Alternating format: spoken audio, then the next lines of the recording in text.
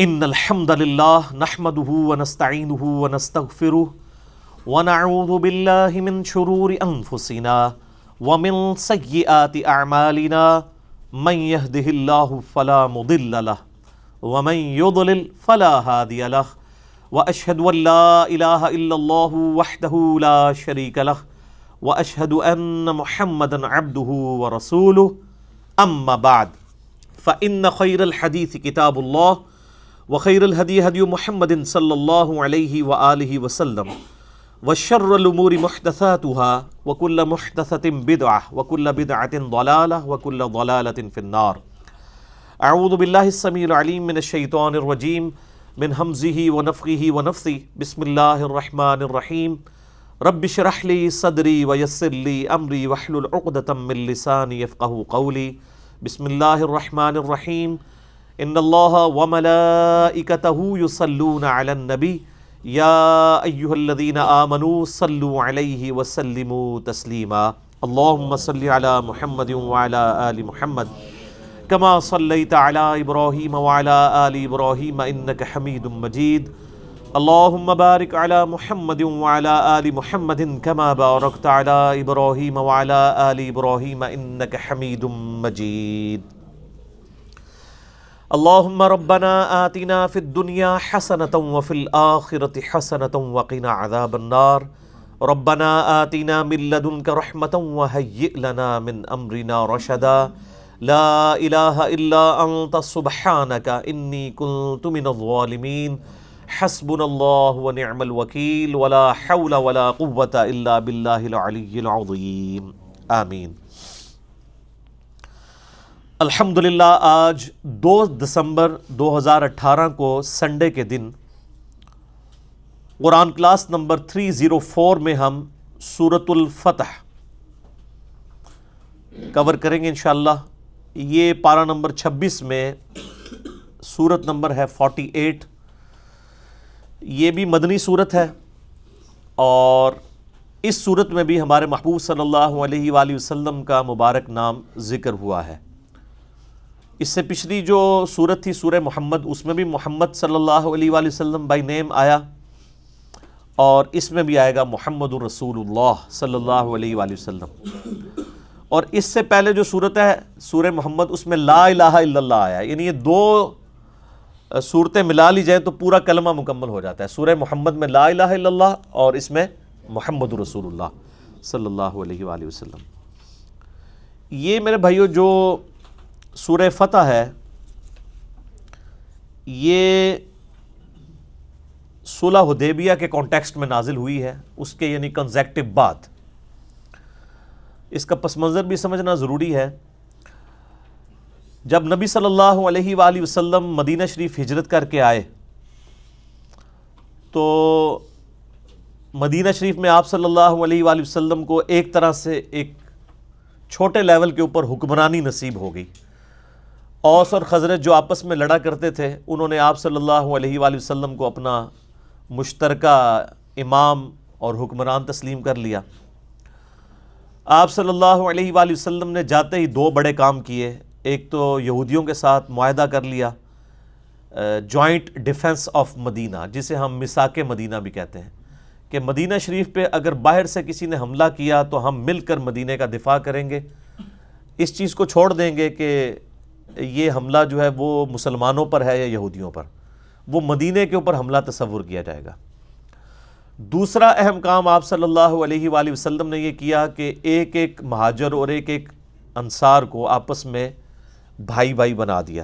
چونکہ مہاجرین جو ہیں وہ اپنا سب کچھ چھوڑ کر ہجرت کر کے مدینہ شریف آئے تھے، ان کا سارا مال و متا کافروں نے قبضہ کر لیا تھا۔ تو بالکل لوٹے پٹے آئے تھے، خالی ہاتھ تھے، کوئی ان کے پاس فائنانس نہیں تھی۔ تو جو مدینہ شریف کے مسلمان تھے، انہوں نے پھر ان کو فائنینشلی سپورٹ کیا۔ یہاں تک آیا کہ اگر کسی کی ایک سے زیادہ بیویاں تھیں، تو کہا کہ ان میں سے کوئی پسند کر لو، میں اس کو طلاق دے دیتا ہوں تو مجھ سے شادی کر لو۔ یعنی اس حد تک اثار اور قربانی والا معاملہ ہوا، جسے ہم مواخات بھی کہتے ہیں۔ یعنی وہ بھائی چارہ قائم کر دیا۔ اس چیز نے نبی صلی اللہ علیہ وآلہ وسلم کی وہ جو طاقت تھی، اس کو مضبوط کیا۔ اور سورہ نساء کے اندر ڈیٹیل سے آیا کہ جو ہجرت نہیں کرے گا وہ منافق ڈکلیئر ہو جائے گا۔ کیونکہ اب ٹیک آف پوزیشن تھی آپ صلی اللہ علیہ وآلہ وسلم کی دعوت حق کی۔ اور میں نے پچھلی دفعہ بھی سورہ محمد کے کانٹیکس میں بتایا کہ سورت کا نام محمد ہے اور اسی سورت کا دوسرا نام قتال بھی ہے، سورہ قتال۔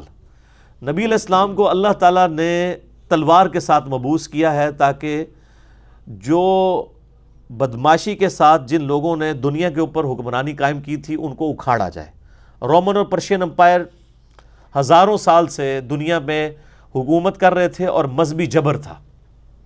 یعنی جو بادشاہ کا دین ہوتا تھا، وہی فالورز کا ہونا یہ لازمی تھا۔ اس کی وجہ سے لوگوں کو جبرن جو ہے، وہ اگر بادشاہ بت پرست ہے، تو وہ ساری کی ساری رعایا کو بت پرست ہونا پڑتا تھا۔ اسی لیے تو جب رومن امپائر میں سیدنا عیسیٰ علیہ نبی علیہ صلاۃ والسلام مبوس ہوئے ہیں تو ان کے اوپر ظلم کیے گئے ہیں۔ عیسیٰ علیہ السلام کے جو تھوڑے بہت فالورز تھے ان کے اوپر بھی۔ یہ تو پھر بعد میں جو کانسٹنٹائن ایک بادشاہ گزرا ہے، جس کے نام کے اوپر وہ سٹی تھا کانسٹنٹائن جسے کستنتنیا بھی کہتے ہیں۔ اور بعد میں وہ مسلمانوں نے وہ شہر فتح کر کے اس کا نام استنبول رکھ لیا۔ یہ آج بھی وہ شہر ہے ٹرکی کا۔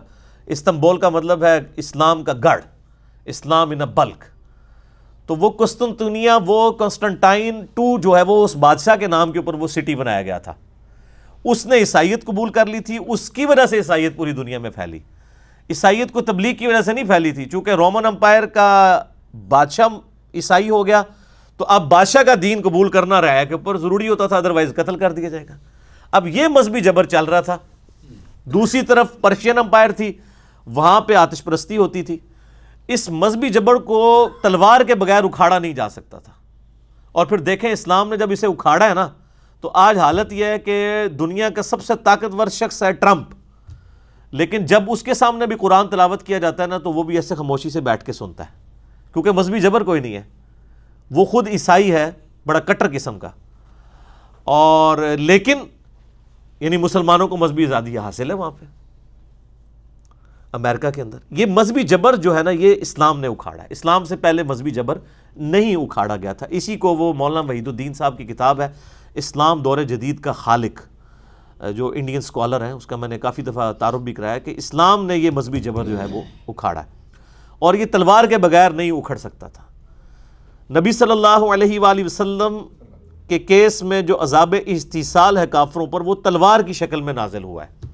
اگلی قوموں کو پیغمبروں کا انکار کرنے کے اوپر اللہ تعالیٰ خود ہلاک کرتا تھا، پتھروں کے ذریعے سمندر میں غرق کر کے، آگ برسا کے، کسی بھی طریقے سے جتنے عذاب قرآن میں آئے ہیں، قوم عاد، قوم سمود قوم فرعون کے بارے میں۔ ہمارے نبی علیہ السلام کے کیس میں اللہ تعالیٰ نے تلوار دے دی۔ اور اس کا ذکر سورہ توبہ کی آیت نمبر فورٹین میں ہے کہ صحابہ اکرام کو اللہ تعالیٰ نے فرمایا، اللہ تعالیٰ چاہتا ہے، اے مسلمانوں، تمہارے ہاتھوں سے ان کافروں کو عذاب دے۔ اور صورت الانفال میں آیا کہ یہ کافر کہتے تھے، عذاب کیوں نہیں نازل ہوا؟ تیرہ سالہ مکی دور میں ہم دھمکیاں سن رہے ہیں کہ پیغمبر کا انکار کرنے پہ عذاب آ جائے گا، تو عذاب تو کوئی نہیں آیا۔ تو اللہ تعالیٰ نے کہا، عذاب مانگتے تھے لوگ غزوہ بدر کی شکل میں، پہلی عذاب کی قسط وصول کرو، جس میں ستر سردار ان کے قتل ہوئے۔ غزوہ بدر جو ہے وہ اللہ کے عذاب استحصال کی پہلی قسط تھی مشرقین عرب کے اوپر۔ یہ جہاد کی حکمت کو بھی سمجھنا چاہیے۔ جہاد کا قتل یہ مقصد نہیں کہ ایک مسلمان دوسرے مسلمان کو قتل کرنا شروع کرتے اس کی پیچھے پوری ڈاکٹرائن ہے۔ اس لیے اسلام کی یہ سمم بونم ہے جہاد اور قتال۔ Highest good of any philosophy is known as summum bonum. In the philosophy of Immanuel Kant Immanuel Kant کی فلاسفی میں جو کسی بھی آپ کو ڈاکٹرائن یا فلاسفی لانچ کرتے ہیں نا، اس کی سب سے اعلیٰ ترین چیز جو ہے سمم بونم کہلاتی ہے۔ اسلام کی سب سے اعلیٰ ترین چیز جو ہے وہ قتال ہے کہ ایک شخص اپنے ایمان پہ اتنا مضبوط ہو کہ اپنی جان ہتھیلی پہ رکھ کے میدان جنگ میں اتر آئے کہ یا اللہ، سب سے قیمتی چیز یہ تھی نا، یہ بھی میں تیری راہ میں قربان کرنے کے لیے تیار ہوں۔ اسی لیے قتال کو اسلام کا سمم بونم قرار دیا گیا ہے۔ اور سورہ محمد جو آپ صلی اللہ علیہ وآلہ وسلم کے مبارک نام کے اوپر ہے، اس کا نام ہی دوسرا سورہ قتال ہے۔ یعنی ہمیں تو صرف ایک ہی آیت پڑھ کے سنائے گی یہ عمار صلی اللہ کا اللہ رحمت للعالمین یہ رحمت للعالمین کے آگے بھی آپ پڑھیں نا تو اس کے عذر بھی موجود ہے کہ جو پھر نبی علیہ السلام کی دعوت کو قبول نہیں کرے گا نا، پھر اس کے ساتھ پھر معاملہ دوسرا ہوگا۔ ٹھیک ہوگا تو یہ قتال اللہ تعالیٰ نے نبی علیہ السلام کو ایک ہائیسٹ گڈ دیا۔ اور دوسری خصوصیت آپ علیہ السلام کی ہے کہ اللہ تعالیٰ نے آپ کو معجزہ ایسا دیا ہے جو آپ سے پہلے کسی پیغمبر کو نہیں دیا۔ وہ کتاب کا معجزہ ہے۔ کتابیں اور پیغمبروں کی بھی آئی ہیں، لیکن وہ وقت کے ساتھ تبدیل ہو گئی لیکن یہ وہ معجزہ ہے، انا نحن نزلنا الذکر و انا له لحافظون۔ قیامت تک کے لیے کتاب محفوظ کی گئی ہے کیونکہ آپ کی نبوت قیامت تک کے لیے۔ اگلے نبیوں کے معجزات آج کوئی دکھا نہیں سکتا۔ آج اگر آپ ویٹیکن سٹی میں چلے جائیں پاپ بیٹھا اسے کہیں گے جی بتاؤ مردے کو زندہ کر کے۔ یا حضرت عیسیٰ علیہ السلام کی کوئی ویڈیو دکھا دو۔ دکھا سکتا ہے۔ یا آپ یوروشلم میں بیٹھے ہوئے یہودی پادری کو کہیں کہ بھئی تم آسا کو اجدہا بنا کے بتاؤ موسیٰ علیہ السلام جس طرح کرتے تھے۔ ایون موسیٰ علیہ السلام کا اجدہا بھی آج مل جائے نا۔ جو آج کل وہ سرنگیں کھود رہے ہیں، وہاں پہ حیکل سلمانی کے نیچے ٹیمپل آف سلیمان وہاں کہتے ہیں، یہاں پہ تابوت سکینہ بھی ہے، اس کے اندر وہ آسا بھی موجود ہے۔ سر، وہ آسا اسی کٹ بھی لو۔ وہ آسا یوروشلم کا پادری ہاتھ میں پکڑ لے، چاہے ویٹیکن سٹی کا پاپ یا آپ کا امام کعبہ بھی پکڑ لے، اس کو سانپ نہیں بنا سکتا۔ وہ حضرت موسیٰ کے ہاتھ میں ہی معجزہ تھا۔ لیکن یہ قرآن وہ معجزہ ہے جو صحابہ کرام کے پاس بھی معجزہ تھا، قیامت تک آنے والے آخری انسان کے پاس بھی یہ معجزہ ہے۔ تو اسی پہ میں نے آج سے پانچ سال پہلے ایک لیکچر دیا تھا، مسئلہ نمبر ایٹی فائیو، قرآن اور کتال ہمارے محبوب صلی اللہ علیہ وآلہ وسلم کی دو خصوصیات۔ ہمارے نبی کے کیس میں عذاب بھی جو ہے وہ قتال کی شکل میں مسلط ہوا ہے، پتھروں کی شکل میں نہیں، قتال کی شکل میں۔ اور جو معجزہ ہے وہ بھی ٹینجبل فارم میں فزیکل فنامنا آف نیچر کو توڑنے والا نہیں ہے۔ وہ معجزات آپ کے ہیں، لیکن وہ دعوی نبوت والے نہیں۔ دعوی نبوت والا معجزہ صرف قرآن ہے۔ کیونکہ آج اگر ہم سے کوئی کہے جی نبی علیہ السلام کے بارے میں بخاری مسلم میں حدیث ہے کہ آپ کی مبارک انگلیوں سے پانی کے چشمے جاری ہوتے تھے تو آپ ویڈیو دکھائیں تو ہم نہیں دکھا سکتے۔ لیکن نبی علیہ السلام کا دعوی نبوت اس معجزے کی بنیاد کے اوپر ہے۔ تو وہ تو ہم پیش کر سکتے ہیں۔ اس وقت شاعری عروج پہ تھی، شعراء نے اپنے کلام پھاڑ دیے۔ آج سائنس عروج پہ ہے۔ قرآن کی ایک آیت بھی ایسی نہیں جو اسٹیبلش سائنس کے خلاف ہو۔ تو یہ معجزہ قیامت تک کے لیے معجزہ ہے۔ الحمدللہ۔ تو اب ظاہر کتال کو آپ علیہ السلام کی زندگی میں ایک ڈومیننٹ یعنی ایک سمجھ لیں حیثیت حاصل ہے۔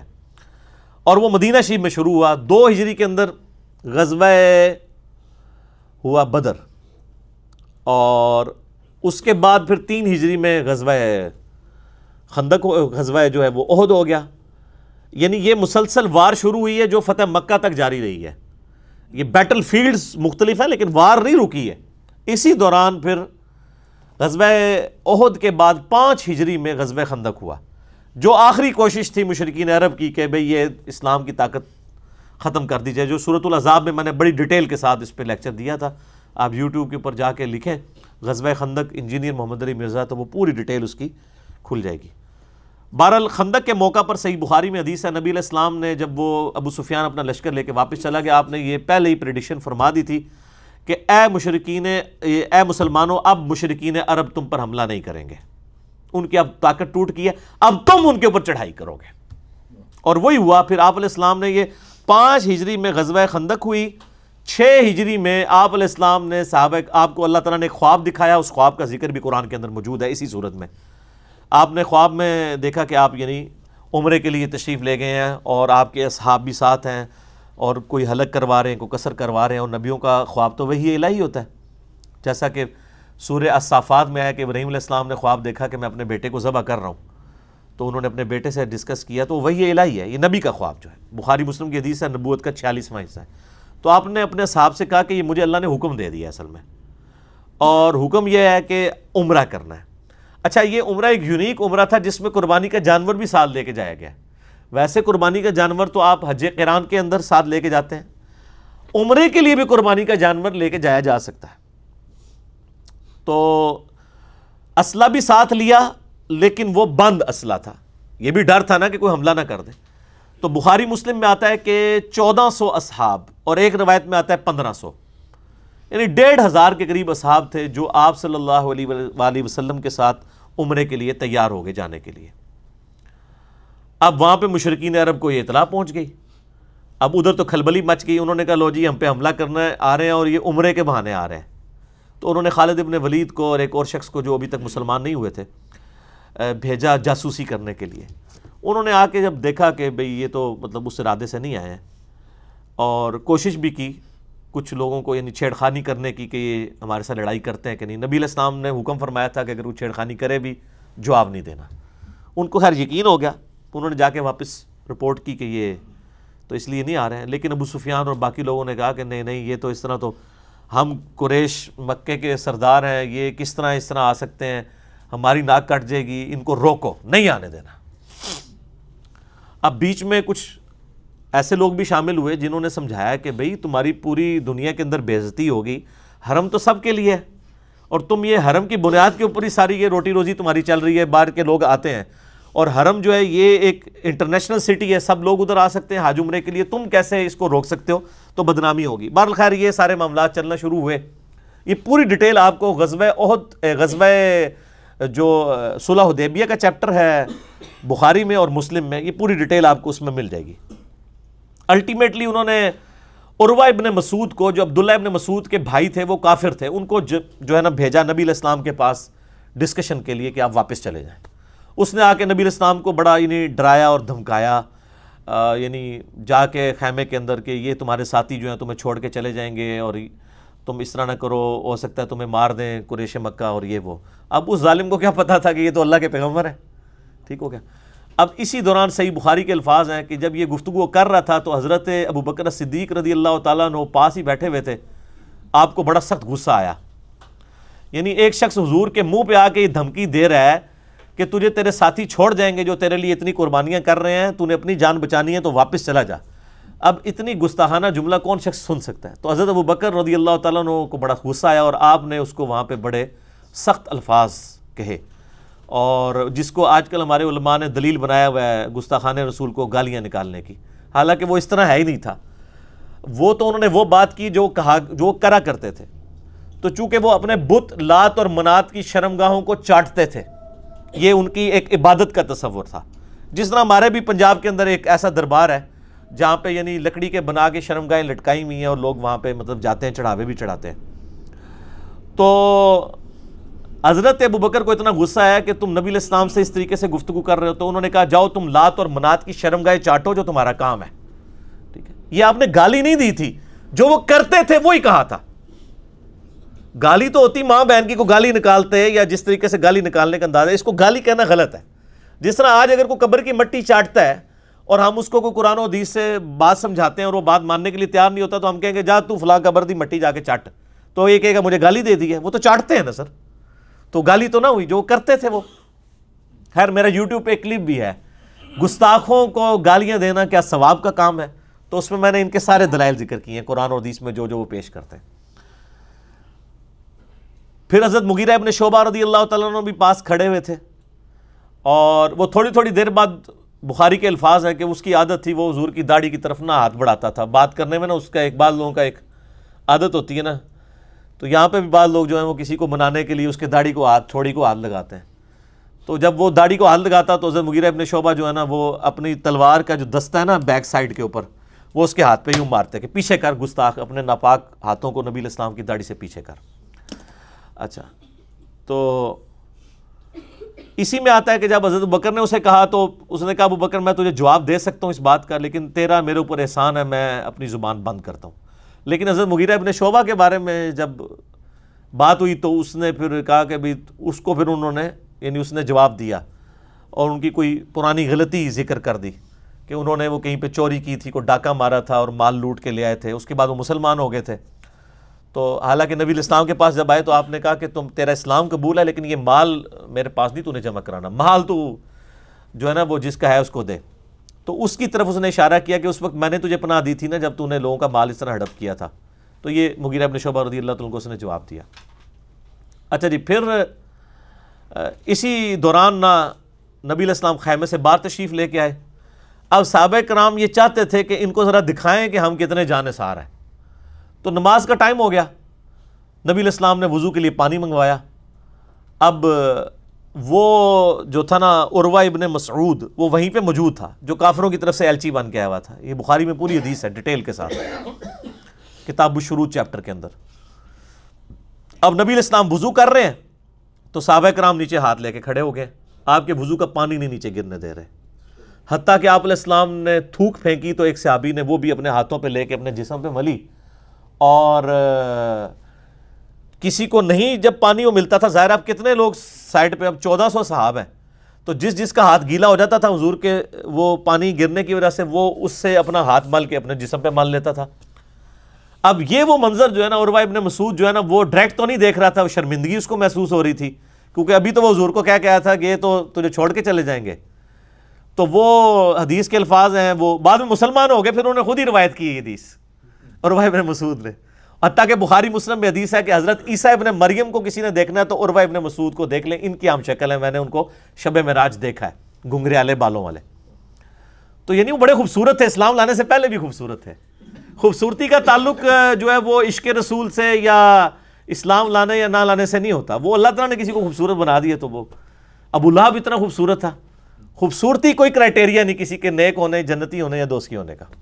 بعد میں کوئی یہ تو نہیں اسلام لانے کے بعد ان کی شکل حضرت عیسیٰ والی بن گئی تھی، پہلے کی تھی۔ تو وہ اللہ کے علم میں تو تھا کہ انہوں نے اسلام قبول کرنا ہے۔ تو وہ نا اب ڈائریکٹ تو نہیں دیکھتا تھا، تو وہ یوں یوں کر کے کنکھیوں سے دیکھتا تھا کہ یہ کیا کر رہے ہیں۔ ڈائریکٹ دیکھنے میں وہ اپنی ایک تزلیل محسوس کر رہا تھا۔ خیر، یہ منظر اب دیکھا نا اس نے تو جناب وہ واپس گیا۔ اس نے کہا، ابو سفیان کو کہ بھائی جی چپ کر کے بوری بستر چکو تو واپس جاؤ۔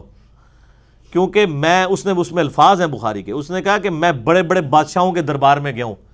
میں کیسر و کسرا رومن امپائر کے ہیڈ اور پرشین امپائر کے ہیڈ کے درباروں میں بھی گیا ہوں۔ میں نجاشی کے دربار میں بھی گیا ہوں۔ میں نے کسی بھی بادشاہ کی رعایا کو یہ تعظیم کرتے ہوئے نہیں دیکھا اپنے سردار کی، جو محمد صلی اللہ علیہ وآلہ وسلم کے اصحاب کرتے ہیں۔ پھر اس نے آگے بیان کیا، اس نے کہا، اللہ کی قسم، جب وہ وضو کرتے ہیں، وہ ان کا پانی نہیں نیچے گرنے دیتے، ان کا تھوک مبارک نہیں نیچے گرنے دیتے اور اللہ کی قسم میں نے دیکھا کہ جب نبی علیہ السلام گفتگو کرتے ہیں تو وہ اس طریقے سے خاموش ہو جاتے ہیں، گویا کہ ان کے سروں پر پرندے بیٹھے ہوئے ہیں۔ اور آپ کی بس زبان مبارک سے بات نکلنے کی دیر ہوتی ہے تو جھپٹ پڑتے ہیں وہ۔ اور وضو کا پانی لینے کے لیے وہ اس طرح کی توگو دو کرتے ہیں، گویا آپس میں لڑ پڑیں گے۔ تو انہوں نے کہا، یہ اس بندے کو آپ لائٹ نہ لیں، تو چپ کر کے ان کے ساتھ معاہدہ کر لیں۔ اب یہ ان کے لیے بہت بڑی تزلیل تھی کہ معاہدہ کر لیں۔ معاہدے کا تو مطلب یہ ہے کہ انہوں نے مسلمانوں کو پاور کے طور پہ تسلیم کر لیا ہے۔ ابھی تک تو وہ تین دفعہ تو مارنے کے لیے آئے نا، بدر میں عہد میں اور خندق میں۔ اب وہ پاور تسلیم کریں گے تو تبھی معاہدہ کریں گے۔ سہیل ابن امر کو بھیجا۔ وہ بھی بعد میں سیابی بن گئے۔ ان کا بیٹا تھا ابو جندل اور دوسرا بیٹا تھا عبداللہ۔ سر، یہ آپ نے سب کچھ دیکھنا تو عمر سیریز دیکھے۔ قطر والوں نے تیس اکسات کے اوپر سیدنا عمر فاروق رضی اللہ تعالیٰ کی پوری بایوگرافی فلمائی ہے، ان کو سینٹرڈ کر کے نبی علیہ السلام کی سمجھ لیں سیرت فلما دی ہے، ویڈیو میں۔ تو اس میں یہ ساری کی ساری انہوں نے مناظر جو ہے نا، جو کرٹیکل ہیں، وہ سارے فلمائے ہوئے ہیں۔ تو سہیل ابن امر آیا تو پھر حضرت ابو بکر نے کہا کہ لگتا ہے اب صلح ہو جائے گی، کیونکہ وہ ذرا سمجھدار آدمی تھا۔ اور وہی ہوا، اس نے کہا جی آپ ہمارے ساتھ معاہدہ کر لیں، نبی الاسلام نے فرمایا، ٹھیک ہے۔ تو کاغذ قلم یعنی اس وقت جو چمڑا تھا اور قلم منگوائی گئی، بخاری شریف میں الفاظ موجود ہیں۔ نبی الاسلام نے یعنی اس میں لکھی ہوئی تھی بسم اللہ الرحمن الرحیم، تو اس نے پہلا اعتراض ہی بسم اللہ کے اوپر کر دیا۔ کیونکہ مشرقین عرب اللہ تعالیٰ کے لیے رحمان اور رحیم کے لفظ کو نہیں مانتے تھے۔ اسی لیے وہ صورت القاف میں آتا ہے نا سورہ بنی اسرائیل میں، کہ اللہ کو اللہ کہہ کے پکارو یا رحمان کہہ کے، یہ سب اچھے نام اللہ ہی کے ہیں۔ وہ اللہ نے اصل میں ان کا رد کیا تھا۔ اس نے کہا جی یہ بسم اللہ کو نہیں، ہم آپ اسمی کا اللہ لکھیں نبی الاسلام نے فرمایا، ٹھیک ہے جی کاٹ کے بسمی کا اللہ لکھ دیتے اللہ گالتے ہوئی سی۔ اچھا پھر اس میں لکھا گیا، یہ جو ہے وہ محمد رسول اللہ صلی اللہ علیہ وآلہ وسلم اور مشرقین عرب کے درمیان معاہدہ ہے۔ اس نے کہا جی ہم تو آپ کو اللہ کا رسول مانتے ہی نہیں ہیں۔ اگر رسول مانتے ہوتے تو آپ کے ساتھ لڑائی کرتے ہم۔ تو آپ اس کو محمد ابن عبداللہ کرتے سیدنا علی، چونکہ آپ کے کاتب تھے تو نبی الاسلام نے سیدنا علی سے کہا کہ یہ تم نہ کاٹ کے نا تو محمد ابن عبداللہ کرتا تو سیدنا علی نے قلم پھینک دی یا رسول اللہ، میں تو آپ کا نام نہیں کاٹ سکتا۔ یہ نہیں محبت فرواتے یعنی فرتے محبت میں تھا۔ نبی الاسلام نے بھی اس کو برا نہیں منایا۔ آپ نے فرمایا اچھا یہ قلم مجھے دو، مجھے بتاؤ کہاں لکھا ہوا ہے؟ تو بتایا گا یہ لکھا ہے۔ تو آپ نے اپنے مبارک ہاتھوں سے ایسے لکیر پھیری پھیری، اور بخاری کے الفاظ ہیں۔ اس میں میرا کلپ بھی ہے، نبی علیہ السلام کی ہینڈ رائٹنگ۔ کہ آپ علیہ السلام نے اپنے ہاتھوں سے محمد بن عبداللہ لکھا چونکہ آپ لکھنا پڑھنا تو جانتے نہیں تھے، یہ آپ کا معجزہ تھا۔ تو وہ اس میں الفاظ ہیں حدیث کے کہ آپ کی رائٹنگ اتنی اچھی نہیں تھی، کیونکہ یہ قرآن میں سورہ انکبوت کی آیت نمبر ففٹی ون ہے کہ یہ نبی علیہ السلام کا معجزہ قرآن ہے، اس سے پہلے فورٹی نائن ففٹی میں آتا ہے کہ اگر یہ نبی دائیں ہاتھ سے کچھ لکھ سکتے ہوتے تو کافر کہتے یہ کتاب انہوں نے خود لکھی ہے۔ تو یہ آپ کا معجزہ تھا کہ آپ امی تھے۔ بہرحال معاہدہ لکھا گیا، اس کے اوپر یعنی سگنیچرز بھی ہو گئے۔ اب حضرت عمر کی تسلی نہیں ہو رہی، صحیح بخاری میں حدیث ہے، حضرت عمر آئے، کہا، یا رسول اللہ، ہم سچے نہیں ہیں۔ بالکل سچے ہیں جی۔ یہ کافر کیا جھوٹے نہیں ہیں۔ کہا، جھوٹے ہیں۔ اچھا جی۔ پھر کہا، یا رسول اللہ علیہ وسلم، کیا ان کے جو مقتولین ہیں، وہ دوزخ میں اور ہمارے مقتولین جنت میں نہیں ہیں؟ فرمایا، بالکل۔ تو یا رسول اللہ، ہم کیوں پھر ان کے ساتھ دب کے صلح کر رہے ہیں؟ کیونکہ اس میں شرائط، تین شرائط تھی۔ پہلی شرط یہ تھی کہ اگر کوئی کافر مسلمان ہو کے یعنی مدینہ شریف آ جائے تو نبی علیہ السلام پابند ہیں اس کو واپس کرنے کے۔ لیکن اگر کوئی مسلمان واپس آ گیا مکے، تو مشرقین عرب اس کو واپس نہیں کریں گے۔ یہ دوسری شرط تھی۔ اب یہ تو دب کے صلح کرنے والی بات تھی۔ اور تیسری شرط یہ تھی کہ اس سال آپ عمرہ نہیں کریں گے۔ ہمارے بھی ناک رہ جائے آپ واپس چلے جائیں، اگلے سال آ کے آپ عمرہ کر لیں، قضا کر لیں۔ یہ تین شرائط تھی اب تینوں شرائط بظاہر ان کی فیور کے اندر تھی۔ بالکل ون سائیڈڈ تھی نا۔ لیکن اللہ تعالیٰ جب حضرت عمر فاروق نے اعتراض کیا تو حضرت عمر نے نبی علیہ السلام فرمایا کہ مجھے اللہ نے حکم دیا اب نبی جب اللہ کی وحی کے ساتھ کوئی کر رہا ہے اس پہ تو کوئی اعتراض نہیں۔ بال حضرت عمر کی تسلی نہیں ہوئی۔ آپ اس سے خاموشی سے نکل کے جا کے حضرت ابو بکر صدیق رضی اللہ تعالیٰ سے جا کے کہا کہ یہ دیکھیں صلح کر لیے۔ تو حضرت ابو بکر نے پھر حضرت عمر کو ڈانٹا اور کہا کہ وہ اللہ کے رسول ہیں۔ اور حضرت عمر کہتے ہیں، مجھے پوری زندگی میں نے بڑا صدقہ اور خیرات کیا ہے جی، اس دن مجھ سے نبی علیہ السلام کے ساتھ مس بیہیو جو کیا۔ حالانکہ اس میں مس بیہیو کوئی بھی نہیں تھا۔ لیکن ظاہر ہے کہ وہ جو شریف انسان ہوتا ہے، وہ تو سمجھتا ہے کہ نبی کا مرتبہ کیا ہے، وہاں تو آپ آواز بھی اونچی کریں تو امال کارت ہو جائیں گے۔ بہرحال، یہ تین شرائط طے پا گئیں۔ اب یہ بالکل ون سائیڈڈ شرائط تھی۔ نبی علیہ السلام نے قبول کر لیا۔ اب بخاری کے الفاظ ہیں، آپ علیہ السلام خیمے سے باہر نکلے اور آپ نے معاہدہ کہا کہ یہ ہو گیا تو اب اس طرح کرو کہ سب لوگ جو ہے نا، یہیں پہ قربانیاں اپنی قربان کر دو۔ ویسے تو قربانی قربان کرنے کے بعد حلق کروانا ہوتا ہے۔ قربانی ادھر ہی کرو، حرم تک جانے کی ضرورت نہیں، یہیں کر کے اپنا حلق کروا دو یعنی بال منڈوا دو اور ساتھ ہی جو ہے وہ احرام بھی کھول دو۔ تو کوئی سیابی بھی نہیں اٹھا اس کے لیے۔ دوسری دفعہ کا، تیسری دفعہ کا۔ یہ پہلا اور آخری موقع تھا کہ نبی الاسلام نے تین دفعہ صحابہ کو حکم دیا اور کوئی بھی ماننے کے لیے تیار نہیں ہوا۔ یعنی وہ سارے ہی ناراض تھے اس صلح کے اوپر۔ اب نبی الاسلام کی ایک مبارک عادت تھی کہ آپ ہر سفر میں اپنی کوئی نہ کوئی بیوی ساتھ رکھا کرتے تھے۔ قرآن اندازی کرتے تھے، بخاری میں آتا ہے۔ ایک بیوی کو سال دے جاتے تھے۔ اس سفر میں حضرت ام سلمہ آپ کے ساتھ تھی۔ وہ خیمے میں بیٹھی ہوئی تھی۔ یہ سر سٹوری نہیں میں پڑھ رہا، یہ میں جتنا کچھ بیان کر رہا ہوں، یہ بخاری مسلم میں موجود ہے۔ ٹھیک ہے جی۔ تو ام سلمہ کے پاس آئے اور کہا کہ یہ تو میری بات ہی نہیں کسی نے مانی، میں نے تین دفعہ اناؤنسمنٹ کی ہے۔ تو ام سلمہ نے پھر بڑا زبردست مشورہ دیا۔ انہوں نے کہا کہ آپ ان کو چھوڑ دیں۔ آپ سب سے پہلے اپنی قربانی خود قربان کریں، اپنا حلق کروائیں اور احرام کھول دیں۔ نبی علیہ السلام باہر نکلے، اپنی قربانی کو قربان کیا، حجام کو بلوایا، سر حلق کروا دیا، احرام کھول دیا۔ اب باقیوں نے جب تمام صحابہ نے دیکھا، حضور نے کیا ہے۔ پہلے ایک اٹھا پھر دوسرا، پھر تیسرا کرتے کرتے سب کے سب نے۔ یعنی اب پیچھے کوئی راہ نہیں۔ این ممکن ہے کہ صاحب یہ سوچ رہے ہوں کہ کوئی شاید کوئی نیا حکم نازل ہو جائے، تو شاید کوئی نہ کوئی ہمیں اجازت مل جائے، کیونکہ صحابہ تو چاہ رہے تھے کہ ہم ان کے ساتھ لڑائی کریں گے اور یہ معاملہ کریں گے۔ اس دوران ایک بڑا، ایک اہم واقعہ ہوا جو بخاری مسلم دونوں میں موجود ہے۔ کہ حضرت عثمان غنی رضی اللہ تعالیٰ عنہ کو نبی الاسلام نے اپنا سفیر بنا کے مشرقین عرب کے پاس ڈسکشن کے لیے بھیجا۔ انہوں نے ان کو وہاں پہ قید کر لیا یعنی محصور کر لیا، واپس نہیں آنے دیا۔ ان کو بلکہ آفر کی کہ تم عمرہ کر لو۔ چونکہ وہ حضرت عثمان بھی بنو میہ سے تھے، ابو سفیان بھی بنو میہ سے تھا۔ نبی الاسلام نے بڑی سمجھداری کی کہ ان کے خاندان کا ایک بندہ بھیجا۔ یہ خطرہ تھا کسی اور کو بھیجتے، وہ قتل ہی نہ کر دیں۔ لیکن خاندان خاندان والوں کا خیال کرتے تھے، کیونکہ قبائلی سسٹم بڑا سٹرانگ تھا نا۔ وہ سال دو کھڑے ہو جاتے تھے امیت میں۔ تو حضرت عثمان رضی اللہ تعالیٰ کو انہوں نے قتل تو نہیں کیا، لیکن وہاں پہ معصور کر لیا اور کہا کہ بھی تم کرنا چاہ رہے ہو تو کر لو۔ انہوں نے کہا، میں نبی الاسلام کے بغیر عمرہ نہیں کروں گا۔ عمرے کو میں نے کیا کرنا ہے؟ نبی الاسلام ہی ہمارے ساتھ نہیں ہے تو۔ تو لیکن پیچھے یہ خبر مشہور ہوگی مسلمانوں میں کہ حضرت عثمان کو شہید کر دیا گیا۔ اب چونکہ علم غیب والا تو معاملہ بعد میں شروع ہوا ہے، اس زمانے میں تو کوئی نہیں ہوتا تھا۔ نبی الاسلام تک بھی خبر پہنچی۔ اللہ نے چونکہ وہی سے نہیں بتایا، آپ حضور کو بھی یہ بات نہیں پتا تھی۔ آپ نے ایک درخت کے نیچے صحابہ کرام کو جمع کیا اور موت کے اوپر بیت لی۔ پہلی دفعہ کہ مر جائیں گے، یہاں سے نہیں جائیں گے جب تک کہ عثمان کے قتل کا بدلہ نہ لے لیں۔ تو بیت والا یعنی یہ معاملہ ہوا۔ خیر، اللہ کا کرنا ہوا حضرت عثمان غنی، پھر اس دوران ان کو جب پتہ چلا وہ ڈر گئے، انہوں نے حضرت عثمان کو واپس بھیج دیا۔ لیکن یہ اصحاب شجرہ کے بارے میں صحیح مسلم میں حدیث ہے کہ جن لوگوں نے اس درخت کے نیچے نبی الاسلام کی بیعت کی ہے، ان کو آگ نہیں چھوئے گی۔ اور قرآن پاک میں بھی اللہ تعالیٰ نے اسپیسیفکلی یہ جو اس میں آیات نازل ہوئی ہیں نا رضی اللہ عنہم ردوان اور محمد رسول اللہ والذین معاہو اشداء وعد الکفار، یہ اسپیسیفکلی صلح دیویہ کے صاحب کے بارے میں جو واقعی جانسار تھے۔ ہم بعد میں اجتہادن سب پہ لگا لیتے ہیں، لیکن اسپیسیفکلی یہ آیات ان لوگوں کے لیے نازل ہوئی ہیں۔ تو حضرت عثمان غنی رضی اللہ تعالیٰ کی طرف سے نبی الاسلام نے اپنا ہاتھ بلند کیا۔ آپ نے فرمایا، یہ میرا ہاتھ ہے اور یہ عثمان کا ہاتھ ہے، میں اس کی بھی بیت یعنی لیتا ہوں۔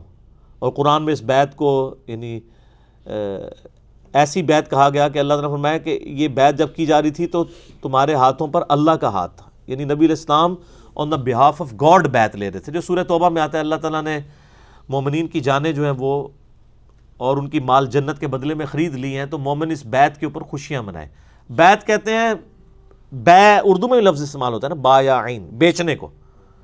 تو مومنین نے اپنے آپ کو بیچ دیا اللہ کے سامنے، اپنے مال کو اور اپنی جان کو، جنت کے بس۔ تو یہ جو پیری مریدی والی بیت ہے نا، یہ آپ جا کے لوگوں کے سامنے اپنے آپ کو بیچ دیتے ہیں۔ پھر واقعی وہ تو خرید ہی لیندے نے، جو کچھ کر دیں نا تھوڑے نال کرتے صحیح نہیں ویسے۔ تو بیت کریں اللہ اور اس کے رسول کی، عز و جل و صلی اللہ علیہ وآلہ وسلم۔ تو حضرت عثمان یعنی اس دن معزز تھے، اللہ تعالیٰ نے یعنی ان کو یہ مرتبہ دیا۔ حتیٰ کہ بخاری مسلم میں آتا ہے کہ عبداللہ ابن عمر کے پاس مصر سے ایک شخص آتا ہے۔ مصر کے لوگ حضرت عثمان کے خلاف ہو گئے تھے کچھ پالیسیز کی وجہ سے وہ ایک الگ سے ٹاپک ہے۔ تو وہاں حضرت عثمان کو لوگ اچھا نہیں سمجھتے تھے ان کے دور خلافت کے اندر۔ تو مصر سے ایک شخص آیا اور اس نے آ کر عبداللہ بن عمر سے پوچھا کہ یہ بتاؤ کہ کیا غزوہ عہد میں عثمان جو ہے وہ میدان جنگ سے بھاگ گیا تھا؟ انہوں نے کہا ہاں جی بھاگ گیا تھا۔ اس نے کہا، اللہ اکبر، نعرہ لگایا۔ اور یہ بتاؤ کہ غزوہ بدر میں بھی عثمان شریک نہیں تھا۔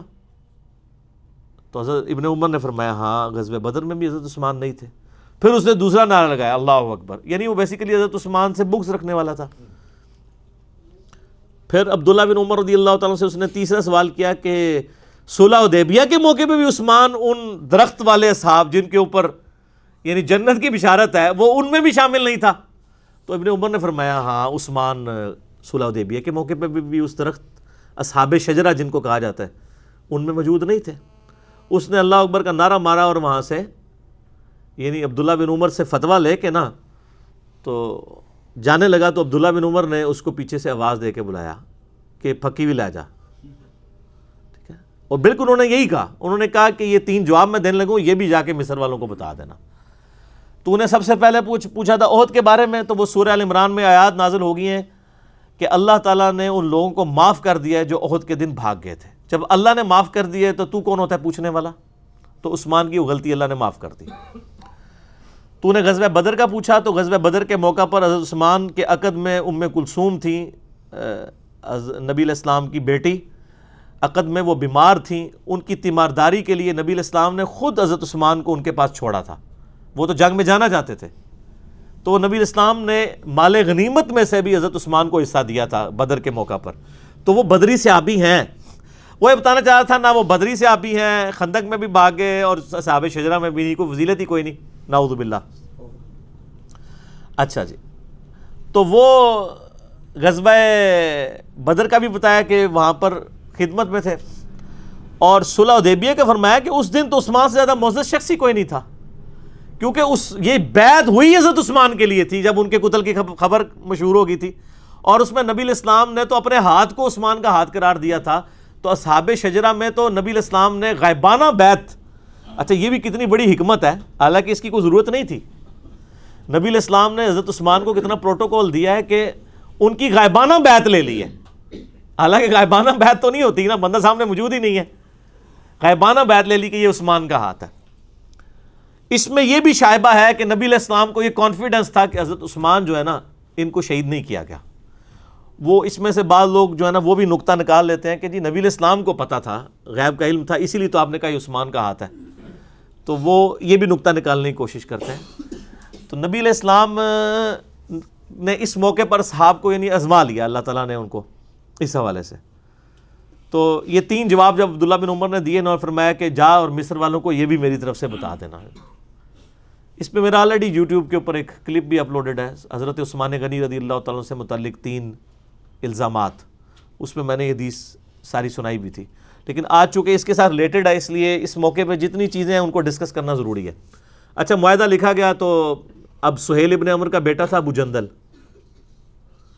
وہ مسلمان ہو چکا ہوا تھا۔ جو معاہدہ لکھنے ہے اس کا بیٹا مسلمان۔ اسی دوران وہ وہاں پہ آ گیا۔ بیڑیوں میں جکڑے ہوئے تھے، وہ بھاگ کے آ گئے۔ تو ابو جندل کی حالت دیکھی، مسلمانوں کو ترس آ گیا۔ تو سہیل ابن عمر سے نبی الاسلام نے کہا کہ ابو جندل کو تو میرے پاس رہنے دو۔ اس نے کہا، نہیں جی معاہدہ لکھا جا چکا ہے۔ آپ نے بڑی کوشش کی، فرمایا کو فدیہ لے لو، کچھ کر لو، اس کو نہ لے کے جاؤ۔ کیونکہ ابو جندل بھی چیخ رہے تھے کہ مجھے بڑا، میرے ساتھ ظلم ہوتا ہے، زیادتی ہوتی ہے۔ الٹیمیٹلی جب سہیل نہیں مانا جا رہا، وہ باپ بھی تھا۔ تو نبی الاسلام نے پھر کہا کہ ٹھیک ہے، ابو جندل صبر کرو، اللہ تعالیٰ کوئی نہ کوئی تمہارے لیے راستہ نکالے گا۔ چونکہ اب معاہدہ ہم لکھ چکے ہیں کہ کوئی مسلمانوں میں سے یہ ایک ہی بندہ تھا جو آیا تھا۔ ٹھیک ہے نا؟ جو واپس کرنا پڑ گیا، اسی موقع کے اوپر۔ اب، سہیل ابن عمر واپس لے گیا اور بڑا خوش ہوا، کہتا دیکھنا پھر، اسی کیسی شرط میں رکھی کہ نہ میں سیاح ہوا یہی نہیں پتا یہی شرط گاٹے فٹ ہونی سی۔ یہی گلے فٹ ہونی تھی، یہی شرط۔ تو اس وقت پھر ابو جندل نے سہیل ابن عمر سے کہا کہ، تو کیا سمجھتا ہے کہ اس شرط سے تمہیں فائدہ ہوگا؟ بتاؤ آج تک جتنے مسلمان ہوئے ہیں، کبھی مدینے سے مکے کو واپس آیا حضور کو چھوڑ کے؟ کوئی ایک بھی مرتد ہوا ہے؟ اسے کہا نہیں، تو ان کا تو اس سے حضور کو کیا فرق پڑے گا؟ ادھر سے تو کوئی نہیں آنا۔ اگر تم کہتے ہو کہ یہاں سے لوگ وہاں جانا چھوڑ دیں گے، تو کیا وہ اسلام قبول کرنا چھوڑ دیں گے؟ وہ یہاں پر ہی رہیں گے، لیکن اسلام تو قبول کر لیں گے۔ تو نبی الاسلام تو ون ون سچویشن میں۔ اور وہی ہوا۔ وہ صحیح بخاری میں آتا ہے، ایک اور صحابی تھے، ابو بصیر، رضی اللہ تعالیٰ عنہ۔ وہ بھاگ کے مسلمان ہو کے مدینہ شریف آ گئے۔ پیچھے ہی مشرقین عرب بھی آ گئے اور کہا، یا رسول اللہ، اپنا وعدہ پورا کریں۔ تو نبی الاسلام نے پھر ابو بصیر سے کہا کہ، خدا خدا کر کے معاہدہ ہوا ہے، تو اب معاہدے کو نہ توڑ تو تو واپس نہ ان کے ساتھ چلا جا۔ تو نبی الاسلام نے ان کو واپس بھیج دیا۔ اب راستے میں کیا ہوا کہ وہ دو بندے تھے، یہ اکیلا تھا اور اس، ان بندوں میں سے صحیح بخاری میں آتا ہے، ایک بندے کے پاس بڑی خوبصورت سی تلوار تھی۔ تو وہ تلوار کی اپنی تعریف کر رہا تھا کہ دیکھو یہ کتنی خوبصورت تلوار ہے، اس کا دستہ کتنا پیارا ہے اور یہ یہ یہ۔ جس کا عورتوں کو بھی عادت ہوتی ہے نا اپنی چیزوں کی تعریف کرنے کی۔ تو وہ ابو بصیر نے نا اس کی کمزوری سمجھ لی۔ تو اب وہ گپ شپ شروع ہوگی ذرا واپس جا رہے تھے فرینڈلی مور تھا۔ انہوں نے کہا، یہ تلوار ذرا مجھے دکھاؤ نا، میں بھی اسے دیکھوں۔ وہ تلوار پکڑی، اس کو قتل کیا گھوڑا لے کے تو۔ نبی الاسلام کے پاس آ گئے۔ نبی الاسلام نے فرمایا کہ میں تو اپنے وعدے کا پابند ہوں، تو تم ادھر سے چلے جاؤ۔ اس نے کہا یار وسلم، آپ جس چیز کے پابند تھے وہ آپ نے کر دیا۔ ٹھیک ہے، میں مدینے میں نہیں رہتا، لیکن میں اب اس چیز کا بھی پابند، کوئی نہیں کہ میں مکے میں واپس جاؤں۔ کیونکہ آپ نے تو مجھے واپس کر دیا تھا۔ یہ تو میں آیا ہوں نا واپس۔ تو مجھے آپ اجازت دیں۔ آپ فرمایا، تم بس مدینے میں نہیں، جدھر مرضی جا کے رہو۔ اللہ تعالیٰ کوئی نہ کوئی راہ تمہارے لیے نکال دے گا۔ تو وہ سمندر کے کنارے ایک بستی تھی۔ جہاں سے مشرقین عرب کے قافلے جایا کرتے تھے تجارت کے لیے شام، وہاں انہوں نے پڑاؤ ڈال لیا۔ اکیلے بندے نے۔ اور منزل انہوں نے عمر سیریز میں فلمایا ہے۔ اچھا۔ اب وہاں سے جتنے بھی مسلمان ہو کے آتے تھے نا، ان کو پتا چل گیا، تو وہ بجائے مدینہ شریف جانے کے وہاں پڑاؤ ڈال لیتے تھے۔ ادھر کافی سارے مسلمان کٹھے ہو گئے۔ انہوں نے کہا، اب ہم کافی زیادہ ہو گئے ہیں، تو ایسی دی تیسی قریش مکہ کی، انہوں نے ہمارا مال لوٹا ہے نا۔ اب ان کا کوئی قافلہ سلامت نہیں یہاں سے جایا کرے گا۔ تو انہوں نے کیا کیا؟ وہ قافلہ ان کا تجارت کا جب گزر رہا تھا، انہوں نے پکڑ کے لوٹ لیا سارا مال ان کا اور ان کو واپس بھیج دیا اور کہا جی ادھر جا کے خبر دے دو کہ آندہ کے بعد بھوکے مرو گے تم۔ اب تمہارا کوئی قافلہ ادھر محفوظ نہیں ہے وہاں پھر انہوں نے میٹنگ کی، آپس میں کہ یار کیا کریں؟ یا تو ہم کوئی لشکر کشی کریں ان کے اوپر۔ لیکن لشکر کشی کیسے کریں؟ وہ تو خانہ بدوش تھے، کبھی کہیں پڑاؤ ڈالتے تھے، کبھی کہیں پڑاؤ ڈالتے تھے۔ تو الٹیمیٹلی یہی ڈیسائیڈ ہوا سہیل ابن عمر کو بلایا گیا کہ تو بڑا سیاح پڑھتا سے نا تو مہربانی کر جا کے نبی الاسلام کو ریکویسٹ کر کے یہ شرط ختم کر دیں۔ اور جو لوگ مسلمان ہو رہے ہیں نا، اللہ اللہ اللہ کا واسطہ جو انہوں کو اپنے کول ہی رکھو۔ ساڈے تو جان چھڑاؤ۔ کم از کم آپ کے پاس رہیں گے، کم از کم ہمارے قافلے تو نہیں لوٹیں گے نا، کسی چیز کے پابند تو ہوں گے۔ پھر وہ واپس آئے اور انہوں نے آ کے ریکویسٹ کی۔ اور نبی الاسلام کی شرافت تھی، آپ نے قبول کر لی۔ آپ فرمایا چلو ٹھیک ہے۔ پھر ان کی یہ جان چھوٹی۔ بر وہ صحابی جو تھے ابو بصیر حضرت ابن یاسر کو نبی الاسلام نے بھیجا کہ جا کے ان کو پیغام دو۔ تو وہ حالت نظر میں تھے اس وقت یعنی وہ بیمار ہو گئے وہ عرب میں۔ تو بہرحال وہ نزا کے عالم میں تھے ہمارے ابن یاسر آئے، انہوں نے خوشخبری دی۔ ان کی قبر پھر وہیں پہ بنی ہے۔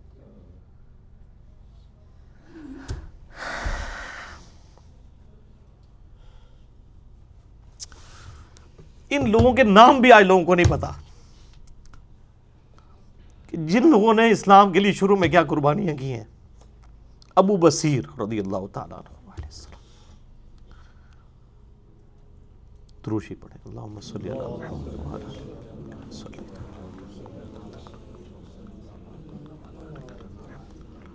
کما بارکتا علی ابراہیم وعلی علی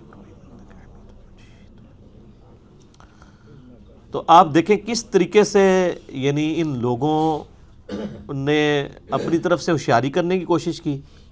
اچھا جب یہ سب کچھ ہوا، پھر حضرت عمر آئے حضرت ابو بکر کے پاس اور کہا کہ آپ نے سچ کہا تھا، یہ اللہ کے رسول ہے صلی اللہ علیہ وسلم۔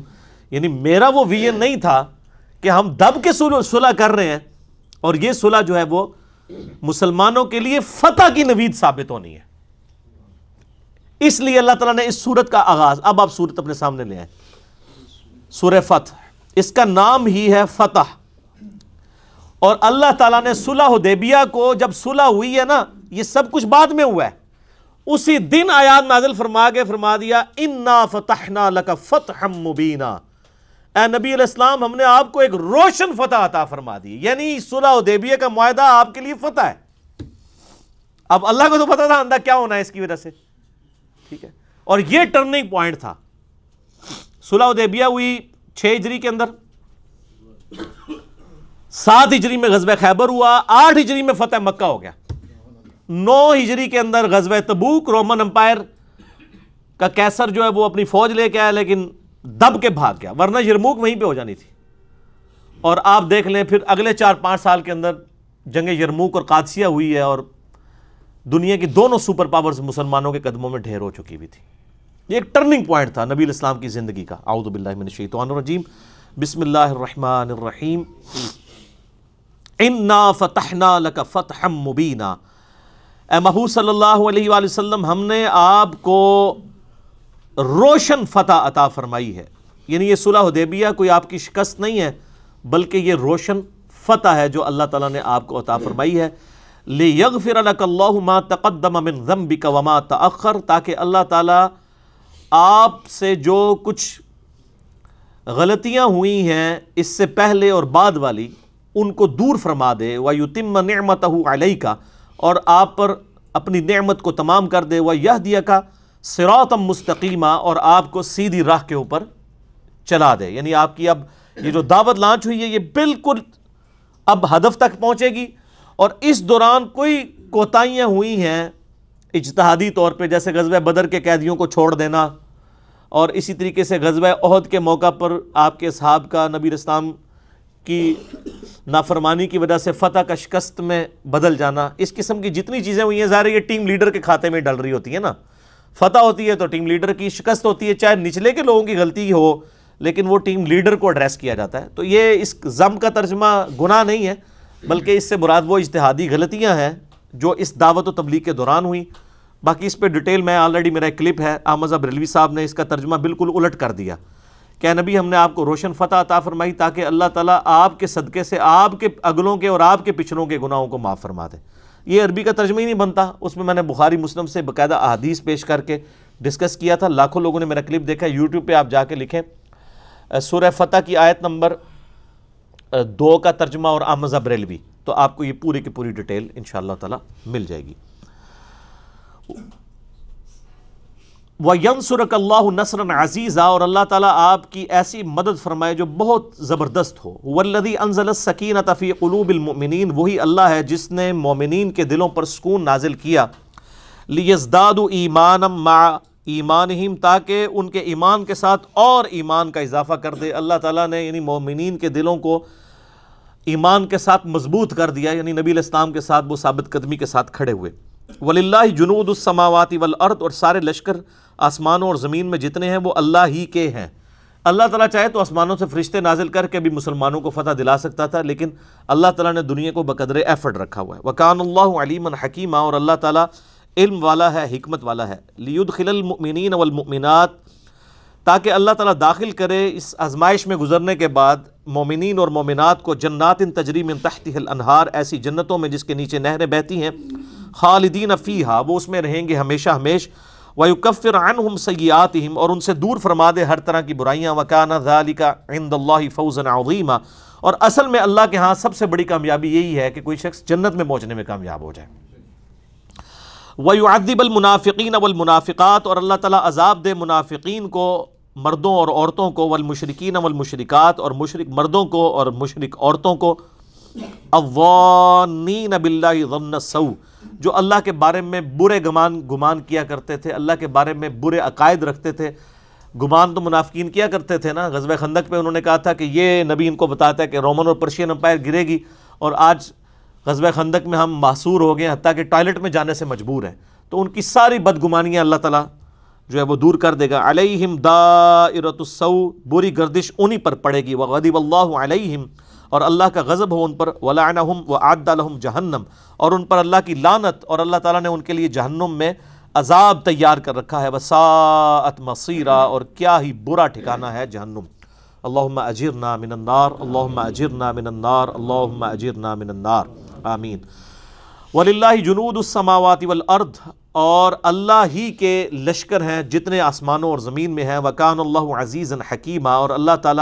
سب پر غالب ہے اور حکمت والا ہے۔ امنا ارسلّہ کا شاہدم و مبشرم و نذیرہ اے نبی صلی اللہ علیہ وآلہ وسلم، ہم نے آپ کو گواہ بنا کر اور خوشخبری دینے والا اور ڈر سنانے والا بنا کر بھیجا ہے۔ لتؤمنوا باللہ تاکہ لوگوں تم اللہ پر ایمان لاؤ اور رسول ہی اور اس کے رسول پر۔ و تو اور مدد کرو اس رسول کی۔ و توقرو اور ان کی تعظیم کرو۔ و تو سب بکرتا ہوں اور اللہ کی پاکی بیان کرو صبح و شام۔ آپ ترتیب دیکھیں کیا ہے؟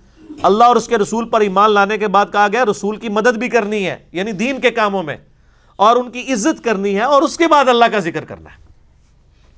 یہاں پہ بھی عشق رسول کے صرف نعرے لگائے جاتے ہیں۔ عشق رسول کا پہلا تقاضا یہ ہے کہ نبی الاسلام کی مدد کرنی ہے۔ اور آپ کی مدد کیا ہے کہ آپ جو دین لے کے آئے ہیں، اس دین کی نصرت کے لیے آپ نے کھڑے ہونا ہے۔ اور ہر میدان میں مقابلہ کرنا ہے۔ علمی میدان میں بھی، قتال میں بھی اور اسی طریقے سے مالی اعتبار سے بھی جہاں پہ ضرورت پڑے گی نبی الاسلام کی مدد کرنی ہے اور صحاب نے اپنا پھر منوایا ہے مدد کر کے۔ ان الذین یبایعونک انما یبایعون اللہ۔ بے شک جو لوگ بیعت کر رہے تھے نبی الاسلام آپ کی اس درخت کے نیچے، وہ تو اللہ کی بیعت کر رہے تھے اصل میں۔ ید اللہ فوق ایدیہم، اللہ کا ہاتھ تھا ان پر۔ یعنی اللہ تعالیٰ نے نبی الاسلام کے ہاتھ کو اپنا ہاتھ قرار دیا ہے۔ کیونکہ ظاہر ریپرزینٹیٹیو ہے۔ سورہ انفال میں بھی آتا ہے نا، وما رمیتا اذ رمیتا ولاکن اللہ رما اے نبی الاسلام غزوہ حنین کے موقع پر جو آپ نے کنکریاں کافروں پر پھینکی تھی، وہ آپ نے نہیں پھینکی تھی، وہ تو اللہ نے پھینکی تھی، جبکہ آپ نے پھینکی تھی۔ دیکھیں نا، بارہ ہزار کا لشکر تھا، صرف اسی بندے حضور کے ساتھ رہ گئے تھے۔ ایک تکبر کا جملہ نکل گیا تھا ان سے کہ ہم بدر میں تھوڑے تھے، غالب آئے تھے، آج تو ہم بارہ ہزار ہیں۔ تو اللہ تعالیٰ نے کہا کہ تم نے یہ الفاظ کیوں استعمال کیے؟ سورہ انفال میں آتا ہے۔ پھر فتح جو ہے وہ کیا ہونی تھی؟ شکست ہو گئی۔ اسی لوگ صرف حضور کے ساتھ رہ گئے۔ پھر نبی الاسلام آگے بڑھ کے آپ نے فرنٹ سے لیڈ کیا ان نبی اللہ قدیب ان ابن عبد المطلب میں نبی ہوں، اس میں یہ کوئی جھوٹ نہیں ہے، میں عبد المطلب کا بیٹا ہوں۔ پھر آپ نے زمین سے یوں کنکریاں اٹھائیں اور یوں کر کے کافروں پر بھیجیں کہ ان کے چہرے جھلس جائیں۔ بخاری مسلم میں آتا ہے، بس آپ نے جب یہ پھینکا نا تو وہ سارا لشکر تتر بتر ہو گیا۔ ہر کافر کی آنکھ میں جا کے وہ کنکر پڑا۔ یہ معجزہ تھا۔ تو یہاں پہ اللہ طرف مارے اللہ کا ہاتھ ہے۔ فمن نقص فنما ینکس والا نفسی پس جو یہ بیت توڑ دے گا تو اس کا وبال بھی اس کے اوپر ہوگا، جو اب تم نے میرے نبی کے ساتھ بیت کی ہے۔ ومن اوفا بما عہد علیہ اور جو کوئی اپنا یہ عہد پورا کرے گا جو اس نے علیہ اللہ اللہ تعالیٰ کے ساتھ کیا ہے فسیؤتی ہی اجر عظیمہ تو اللہ تعالیٰ اسے اجر عظیم عطا فرمائے گا۔ سیقول لک المخلفون من الاعراب اب کچھ جو پینڈو لوگ تھے نا، جو اوپر سے کلمہ پڑا ہوا تھا، اندر سے منافق تھے، وہ حضور صلی اللہ علیہ وسلم کے ساتھ ادیبیہ کے موقع پر نہیں موجود تھے۔ وہ نہیں گئے تھے۔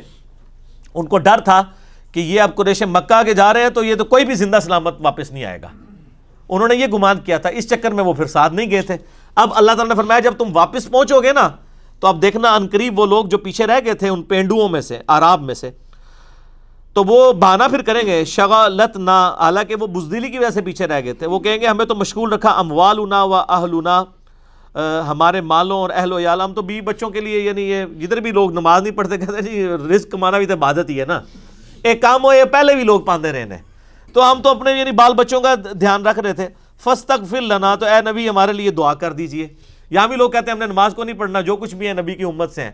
اور جو سامنے یہ باتیں کرتے تھے نا، ان کو اللہ تعالیٰ کیا جواب دے رہا ہے؟ تو تسی کیڑی باغ دی مولی ہو کیڑی کھیت دی مولی ہو تو اے نبی، آپ مان لیے دعا کر دیں، غلطی ہوگی پل چک معاف ہو جائے گی، حضور سامنے موجود ہیں۔ یقولون بالسنتہم ما لیس فی قلوبہم۔ اے نبی الاسلام یہ آپ کی اپنی زبانوں سے وہ باتیں آپ سے کر رہے ہیں جو ان کے دل میں نہیں ہے اصل مسئلہ ہو رہا ہے، دل بے ایمان تے اجدا ٹیر یہ اصل میں میدان جنگ سے بھاگے ہوئے ہیں، اپنی جان بچا کے بھاگے ہوئے ہیں۔ اور بانے یہ کر رہے ہیں کہ ہم بھی بچوں کی خدمت کر رہے ہیں۔ قل فمن یملک لکم من اللہ شیئا ان اراد بکم ضرا۔ اے نبی، ان سے پہلے تو یہ فرمائیے گا کہ بتاؤ، اگر اللہ تعالیٰ تمہارے لیے کوئی برائی کا ارادہ کر دے کہ تمہیں کوئی برائی پہنچنی ہے، کوئی تکلیف پہنچنی ہے، تو اللہ تعالیٰ کے مقابلے پہ کون تمہاری مدد کر سکتا ہے؟ او اراد بکم نفع یا وہ نفع کا فیصلہ کر دے تو کون اس کو ٹال سکتا ہے؟ بلکان اللہ بما تعملون خبیرہ بلکہ اللہ تعالیٰ کو ہر اس عمل کی خبر ہے جو کچھ تم کرتے ہو۔ بل ظننتم الن ينقلب الرسول والمؤمنون۔ نہیں، اصل بات یہ کہ تم نے گمان کیا تھا کہ نہ تو رسول اللہ واپس آئیں گے بچ کے اور نہ اہل ایمان۔ الا اہلہم ابدا۔ ہمیشہ کے لیے آپ چلے گئے، اپنے گھر والوں سے دور، وہ آپ واپس نہیں آئیں گے۔ قریش کے پاس چلے گئے ہیں ان کے اس گڑھ کے اندر۔ تو قریش تو اتنے جنگجو لوگ ہیں، کوئی بھی زندہ سلامت واپس نہیں آئے گا۔ نعوذ باللہ۔ وَزُيِّنَ ذَلِكَ فِي قُلُوبِكُمْ، اور یہ بات جو بری بات ہے تمہارے دل میں ٹھک گئی ہوئی تھی۔ وَظَنَنْتُمْ ظَنَّ السَّوْ اور تم نے یہ برا گمان کیا۔ وَكُنْتُمْ قَوْمًا بُورا، اور تم تو برباد ہونے والی قوم ہو۔ وَمَن لَمْ يُؤْمِن بِاللَّهِ وَرَسُولِ اور جو ایمان نہ لائے اللہ اور اس کے رسول پر، فَإِنَّا أَعْتَدْنَا لِلْكَافِرِينَ سَعِيرًا، تو ایسے کافروں کے لیے اللہ تعالیٰ نے دوزخ کی آگ بھڑکا کے رکھی ہوئی ہے۔ یعنی اب تو ایمان لے آؤ یعنی نبی علیہ السلام کی پشت پہ اللہ ہے ان کی مدد کے لیے۔ تو اگر تم نے اب ظاہر یہ بھی کافر ہی ہے نا، اوپر سے کلمہ پڑھا ہے نا، ہے تو منافق ہے وَلِلَّهِ مُلْكُ السَّمَاوَاتِ وَالْأَرْضِ، اور آسمان اور زمین کی بادشاہت اللہ ہی کی ہے۔ یغفر لمن یشاء ویعذب من یشاء وہ جسے چاہتا ہے عذاب دیتا ہے، جسے چاہتا ہے بخش دے۔ یعنی یہ اللہ تعالیٰ کا اپنا فیصلہ، لیکن ظاہر ہے اللہ تعالیٰ عدل فرمانے والا ہے۔ بخشتا اسی کو ہے جو یعنی اس کا تابع فرمان ہوتا ہے، اور جو اس کے مجرم ہے ان کو تو عذاب دے گا۔ وکان اللہ غفور رحیمہ اور اللہ تعالیٰ بخشنے والا مہربان ہے۔ سیقول المخلفون اذن طلقتم الى مغانم لتأخذوها. اب یہ جو جہاد سے پیچھے رہ گئے تھے نا، یہ اب اپنا یعنی حاضری لگوانے کے لیے یہ بھی کہیں گے کہ آندہ کوئی جنگ ہوئی نا جی اگلی بار جو درس ہوئے نا تو ہم درس دینا۔ اے تو چلو مس ہو گیا۔ تو یہ اب یہ کہیں گے کہ اگلی بار کوئی جنگ ہوئی نا تو آپ ہمیں بتا دیجیے گا، ہم آپ کے ساتھ چلیں گے۔ یہ اس بات کا ثبوت ہے کہ ہم پہلے جو رہ گئے تھے نا وہ جینون ریزن کی وجہ سے۔ حالانکہ اگلی بار بھی انہوں نے یہی کرنا تھا۔ اب ایسی جنگ جس میں فتح کی یعنی یقین ہو، اس میں تو جاتے تھے مال غنیمت ملتا تھا۔ اور اس کے فوراً بعد پھر وہ غزوہ خیبر ہوئی بھی۔ اور ان کو پتا تھا کہ اب انہوں نے یہودیوں کے پر مسلمانوں نے چڑھائی کرنی ہے، تو یہودی تو مسلمانوں کا مقابلہ نہیں کر سکیں گے۔ کیونکہ ظاہر ہے جو جس کے دل میں دنیا کی محبت ہو، یہودی سب سے زیادہ حریص ہیں دنیا کی محبت میں، وہ کتال تو نہیں کر سکتے نا۔ تو یہ اس طرف اشارہ تھا کہ اب خیبر پہ گئے تو ہمیں بھی ساتھ لے جائیے گا، ہم بھی حاضری لگوا لیں گے۔ تو اب یہ کہیں گے کہ اب پیچھے رہ جانے والے کہیں گے، اب جب تم مال غنیمت والے چکر میں جب تم جاؤ گے نا، تو ہمیں بھی ساتھ لے جانا۔ نہ نتبعکم، ہم تمہارے پیچھے پیچھے آئیں گے۔ یریدون ان یبدلو کلام اللہ، وہ چاہتے ہیں کہ اللہ کے حکم کو بدل دے یعنی اللہ نے کہا کہ ان کو نہیں اب لے کے جانا۔ یعنی یہ تو نگ ہوتے ہیں نا، الٹا مصیبت بن جاتے ہیں۔ وہاں پہ کوئی مسئلہ پاس جاتا ہے، کہتے ہیں کہ کیوں لے کے آئے ہو جی اتنے یہ بھی مصیبت کھڑی ہو جاتی ہے نا۔ تو ایک تو مطلب ساتھ جاتے بوجھل دل کے ساتھ ہیں، اوپر وہاں جا کے الٹی مصیبت بن جاتے ہیں یہ۔ قل لن تتبعونا كذلكم قال اللہ من قبل۔ تو انہوں نے فرمائی نبی علیہ السلام سے کہا گیا آپ ان کو فرما دیں، تم ہمارے پیچھے نہیں آ سکتے۔ اللہ تعالیٰ نے حکم دے دیا ہے، فسیقولون بل تحسدوننا۔ اور جب آپ یہ جواب ان کو دیں گے نا نال نال پھکیاں آ رہی ہیں اے کہو گے تو گو اے کہن کے پھر اے کہہ دینا۔ جب آپ ان کو کہیں گے نا کہ اللہ نے ہمیں منع کیا ہے کہ آپ نے جہاد میں نہیں آنا، تو آپ کو الٹا پھر یہ کہیں گے اچھا جی آپ اللہ کی راہ میں لڑنے سے ہمیں روکتے ہیں، آپ تو ہم سے حسد کرتے ہیں۔ تو اللہ کہ نبی علیہ السلام کو فرمایا جا رہا ہے کہ یہ تم سے کہیں گے کہ تم حسد کرتے ہو۔ بل کانو اللہ یفقہون اللہ قلیلہ اللہ تعالیٰ ماتا ہے، یہ اصل میں بیوقوف لوگ ہیں۔ ان کے اندر فک والا معاملہ بہت تھوڑا ہے۔ قل للمخلفین من الاعراب اے نبی، آپ نے فرمانا ہے، یہ پیچھے جو رہ گئے تھے نا، پینڈو لوگ جو آپ کے ساتھ صلح حدیبیہ کے موقع پہ شامل نہیں تھے، ستدعون الى قوم اولی بأس شدید۔ ان قریب تمہیں ایک ایسی قوم کی طرف بلایا جائے گا جو بہت شدت والی ہوگی۔ تو قاتلونہم او یسلمون۔ تم ان سے لڑائی کرو گے یا وہ ہتھیار ڈال دیں گے۔ فَإِن تُطِيعُوا يُؤْتِكُمُ اللَّهُ أَجْرًا حَسَنًا۔ اس وقت اگر تم اطاعت اختیار کرو گے تو اللہ تعالیٰ تمہارے لیے اجر حسنہ رکھ دے گا۔ اس کے اندر کہہ دیا گیا کہ بھئی اچھا بڑا شوق ہے نا جنگ کا، تو ابھی بڑی ایک زبردست جنگ ہونے والی ہے، اس میں تمہیں بلایا جائے گا، پھر تمہیں چیک کر لیا جائے گا۔ اور وہ پھر تبوک پہ چیک کیا گیا۔ ظاہر رومن امپائر جو ہے، اس وقت آدھی دنیا پہ حکومت کر رہی تھی۔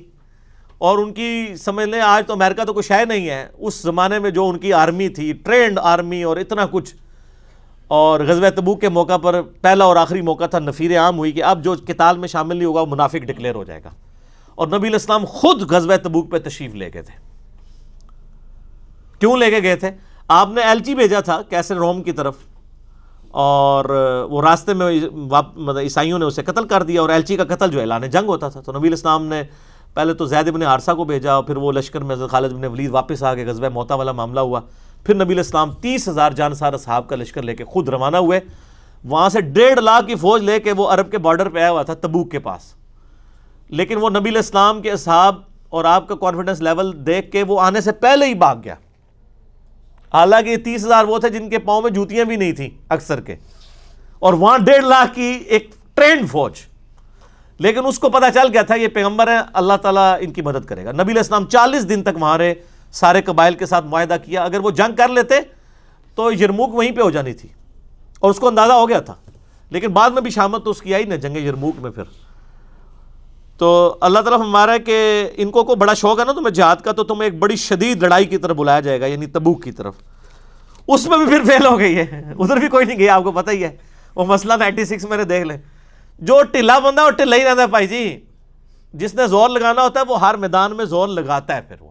اس کا ایمان اس کو آگے لے کے آتا ہے۔ تو اللہ تعالیٰ فرماتا ہے کہ اس وقت تم اطاعت کرو گے تو تمہیں اجر عظیم ملے گا وہ ان تولو کما طول تم من قبل۔ اگر اس وقت بھی تم نے منہ پھیر دیا، جس طرح تم نے پہلے کیا یو عذبکم عذابا علیما تو اللہ تعالیٰ تمہیں دردناک عذاب دے گا۔ اس میں تو بارہ منافق ساتھ چلے گئے تھے جنہوں نے واپسی پہ نبی الاسلام کو قتل کی سازش کی، جو اصحاب اقبہ کہلاتے ہیں، صحیح مسلم میں آتا ہے۔ نبی الاسلام فرمایا، میرے اصحاب میں سے بارہ منافق ہیں۔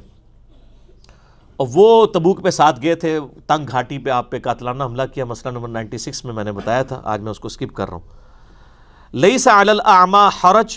البتہ اللہ تعالیٰ نے کہا دیا کہ جہاد کے معاملے میں، قتال کے معاملے میں اندھے کے اوپر کوئی گناہ نہیں ہے. ولا علی آورجی حرج اور نہ کسی لنگڑے کے اوپر. ظاہر ہے کہ یہ تو لڑائی نہیں کر سکتے.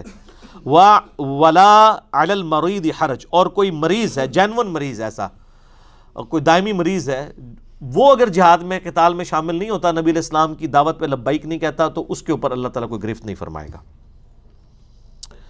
وَمَن يُطِعِ اللَّهَ وَرَسُولَهُ يُدْخِلْهُ جَنَّاتٍ تَجْرِي مِن تَحْتِهَا الْأَنْهَارُ جو کوئی اطاعت کرے گا اللہ اور اس کے رسول کی، اللہ تعالیٰ اسے ایسی جنت میں داخل کرے گا جس کے نیچے نہریں بہتی ہوں گی۔ وَمَن يَتَوَلَّ يُعَذِّبْهُ عَذَابًا أَلِيمًا اور جو پشت پھیر لے گا، اللہ تعالیٰ اسے دردناک عذاب دے گا۔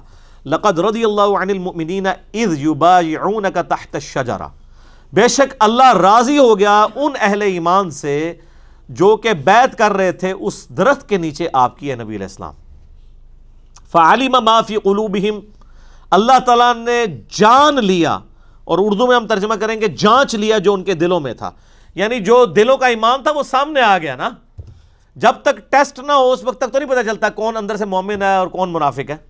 تو اللہ تعالیٰ کا صحاب شجرہ کا ایمان چیک کر لیا۔ مسلم شریف کی حدیث ہے کہ صحاب شجرہ کو دوزک کی آگ نہیں چھوئے گی۔ اور یہ درخت جو ہے، بخاری مسلم میں آتا ہے کہ اگلے سال جب صاحب حج کے لیے آئے تو ان کو اللہ تعالیٰ نے یہ درخت ہی بھلا دیا۔ ٹھیک ہے؟ وہ ہم نے ایک کلپ بھی بنایا، وہ کہتے ہیں جی حضرت عمر نے درخت کٹوا دیا تھا۔ وہ اہل حدیث علماء نے مشہور کیا ہوا ہے۔ وہ درخت کٹوایا نہیں تھا، بخاری مسلم میں آتا ہے، وہ درخت اللہ نے بھلوا دیا تھا۔ ایک غیبی طور پہ اللہ تعالیٰ نے اس کو درخت کو رہنے نہیں دیا۔ یعنی مسلمان، ظاہر ہے کہ اس میں خدشہ تھا کہ کوئی اور معاملہ بھی ہو جاتا۔ تعظیم میں بھی کوئی غلوب کر جاتے اور یہ بھی معاملہ تھا کہ تعظیم کا حق نہ ادا کرتے جیسے میں نے بتایا، صحیح بخاری میں ہے کہ نبی الاسلام کی جو انگوٹھی تھی محمد رسول اللہ جس پہ لکھا تھا، وہ حضور کی وفات کے بعد حضرت بکر کے پاس رہی، پھر حضرت عمر کے پاس رہی، پھر حضرت عثمان کے پاس آئی۔ تو صحیح بخاری میں الفاظ ہیں، ایک دن آپ کنویں کی منڈیر پہ بیٹھے ہوئے یوں یوں اس کے ساتھ کھیل رہے تھے، تو وہ آپ کے ہاتھ سے چھوٹ گئی اور پانی میں جا کے گر گئی۔ تین دن تک بخاری کے الفاظ ہیں، وہ کنویں کا پانی نکالا گیا۔ پانی کتنا تھا؟ دو تین فٹ ہوتا ہے کنویں میں پانی۔ مکمل صفائی کروا دی، وہ انگوٹھی نہیں پھر ملی۔ اس کے بعد ہی پھر حضرت عثمان کی خلافت کا ڈاؤن فال شروع ہو گیا۔ یعنی ایک وہ جو غیبی مدد تھی حضور کی، مبارک انگوٹھی کی، وہ برکت تھی۔ وہ والا معاملہ پھر وہ جو ہے نا، وہ آج تک انگوٹھی نہیں ملی۔ ابھی پچھلے دنوں کہہ رہے تھے، سعودیہ والوں نے بھی صفائی کری۔ اور سر نہیں ملنی انگوٹھی۔ جتنی مرضی صفائی کر لو، اللہ نے چکی ہے۔ تو صلح دیبیہ کا درخت بھی اللہ نے اٹھا لیا۔ فعالم معافی قلوبہم تو اللہ تعالیٰ نے جانچ لیا جو کچھ ان کے دلوں میں تھا فانزل السکینہ تو اللہ نے ان پر اطمینان نازل کیا صحابہ شجرہ پہ علیہم ان پر، وَأَثَابَهُمْ فَتْحًا قَرِيبًا، اور ان کو ایک بہت بڑی فتح کی خوشخبری نویز سنا دی ہے۔ سر، یہ ابھی واقعہ ہوا ہے اور اللہ تعالیٰ مستقبل میں کہہ رہا ہے، یہ یہ ہو جانا ہے۔ یہ بھی قرآن کی غیبی خبریں ہیں جو پوری ہوئی ہیں۔ وہ مغانم کثیرتیں یا خدونہا اور بہت غنیمتیں تمہارے ہاتھ آئیں گی۔ ابھی تو قادسیہ ہونی ہے، ابھی تو یرموک ہونی ہے اب مسلمان ٹیک اپ پوزیشن پہ اور آپ دیکھیں پھر صلح دیویہ کے بعد مسلمانوں کا گراف نیچے نہیں کبھی آیا۔ اسی لیے اس کو اللہ نے کہا تھا یہ کھلی فتح ہے۔ یا خدونہا بہت سی کثیر مال تمہارے پاس آئے گا۔ وکان اللہ عزیز حکیمہ اور اللہ تعالیٰ زبردست ہے اور حکمت والا ہے۔ بخاری مسلم میں حدیث ہے، اللہ تعالیٰ نے، اللہ کے محبوب صلی اللہ علیہ وآلہ وسلم فرمایا، اللہ تعالیٰ نے مجھے دو خزانے عطا فرمائے، ان کی کنجیاں عطا فرما دی یعنی کیسر و کسرا کے خزانے۔ مسلمانوں کے قدموں میں حضرت عمر کے دور میں آ کے ڈھیر ہوئے۔ وعدکم اللہ مغانم کثیرہ، اللہ تعالیٰ نے بہت سی غنیمتوں کا تم سے وعدہ کیا ہے تاخذونہا جو تمہیں ملیں گی اپنے اپنے وقت میں۔ فعجل لکم هذه وکف ایدی الناس۔ تمہیں اللہ تعالیٰ نے اس وقت جلدی ایک یہ فتح دے دی ہے کہ صلح کر دی ہے اور اللہ تعالیٰ نے لوگوں کے ہاتھوں سے تم کو روک دیا ہے اور تمہیں لوگوں سے بچا لیا اور لوگوں کو تم سے۔ یعنی یہ صلح اللہ تعالیٰ اگر نہ کرواتا تو ایک اور جنگ چھڑ جاتی۔ ایدی الناس عنکم ولیتکون آیتا للمؤمنین۔ اور ہم نے یہ ایک معجزہ اور نشانی بنا دیا اہل ایمان کے لیے۔ وَيَهْدِيَكُمْ صِرَاطًا مُسْتَقِيمًا۔ اور اللہ تعالیٰ اب تمہاری اس دعوت و تبلیغ کا جو یہ مشن ہے، جو اللہ تعالیٰ نے اسلام کو لانچ کیا ہے، هُوَ الَّذِي أَرْسَلَ رَسُولَهُ بِالْهُدَى وَدِينِ الْحَقِّ لِيُظْهِرَهُ عَلَى الدِّينِ كُلِّهِ۔ وَلَوْ كَرِهَ الْكَافِرُونَ، وَلَوْ كَرِهَ الْمُشْرِكُونَ۔ اس میں بھی یہ آیت آ جائے گی۔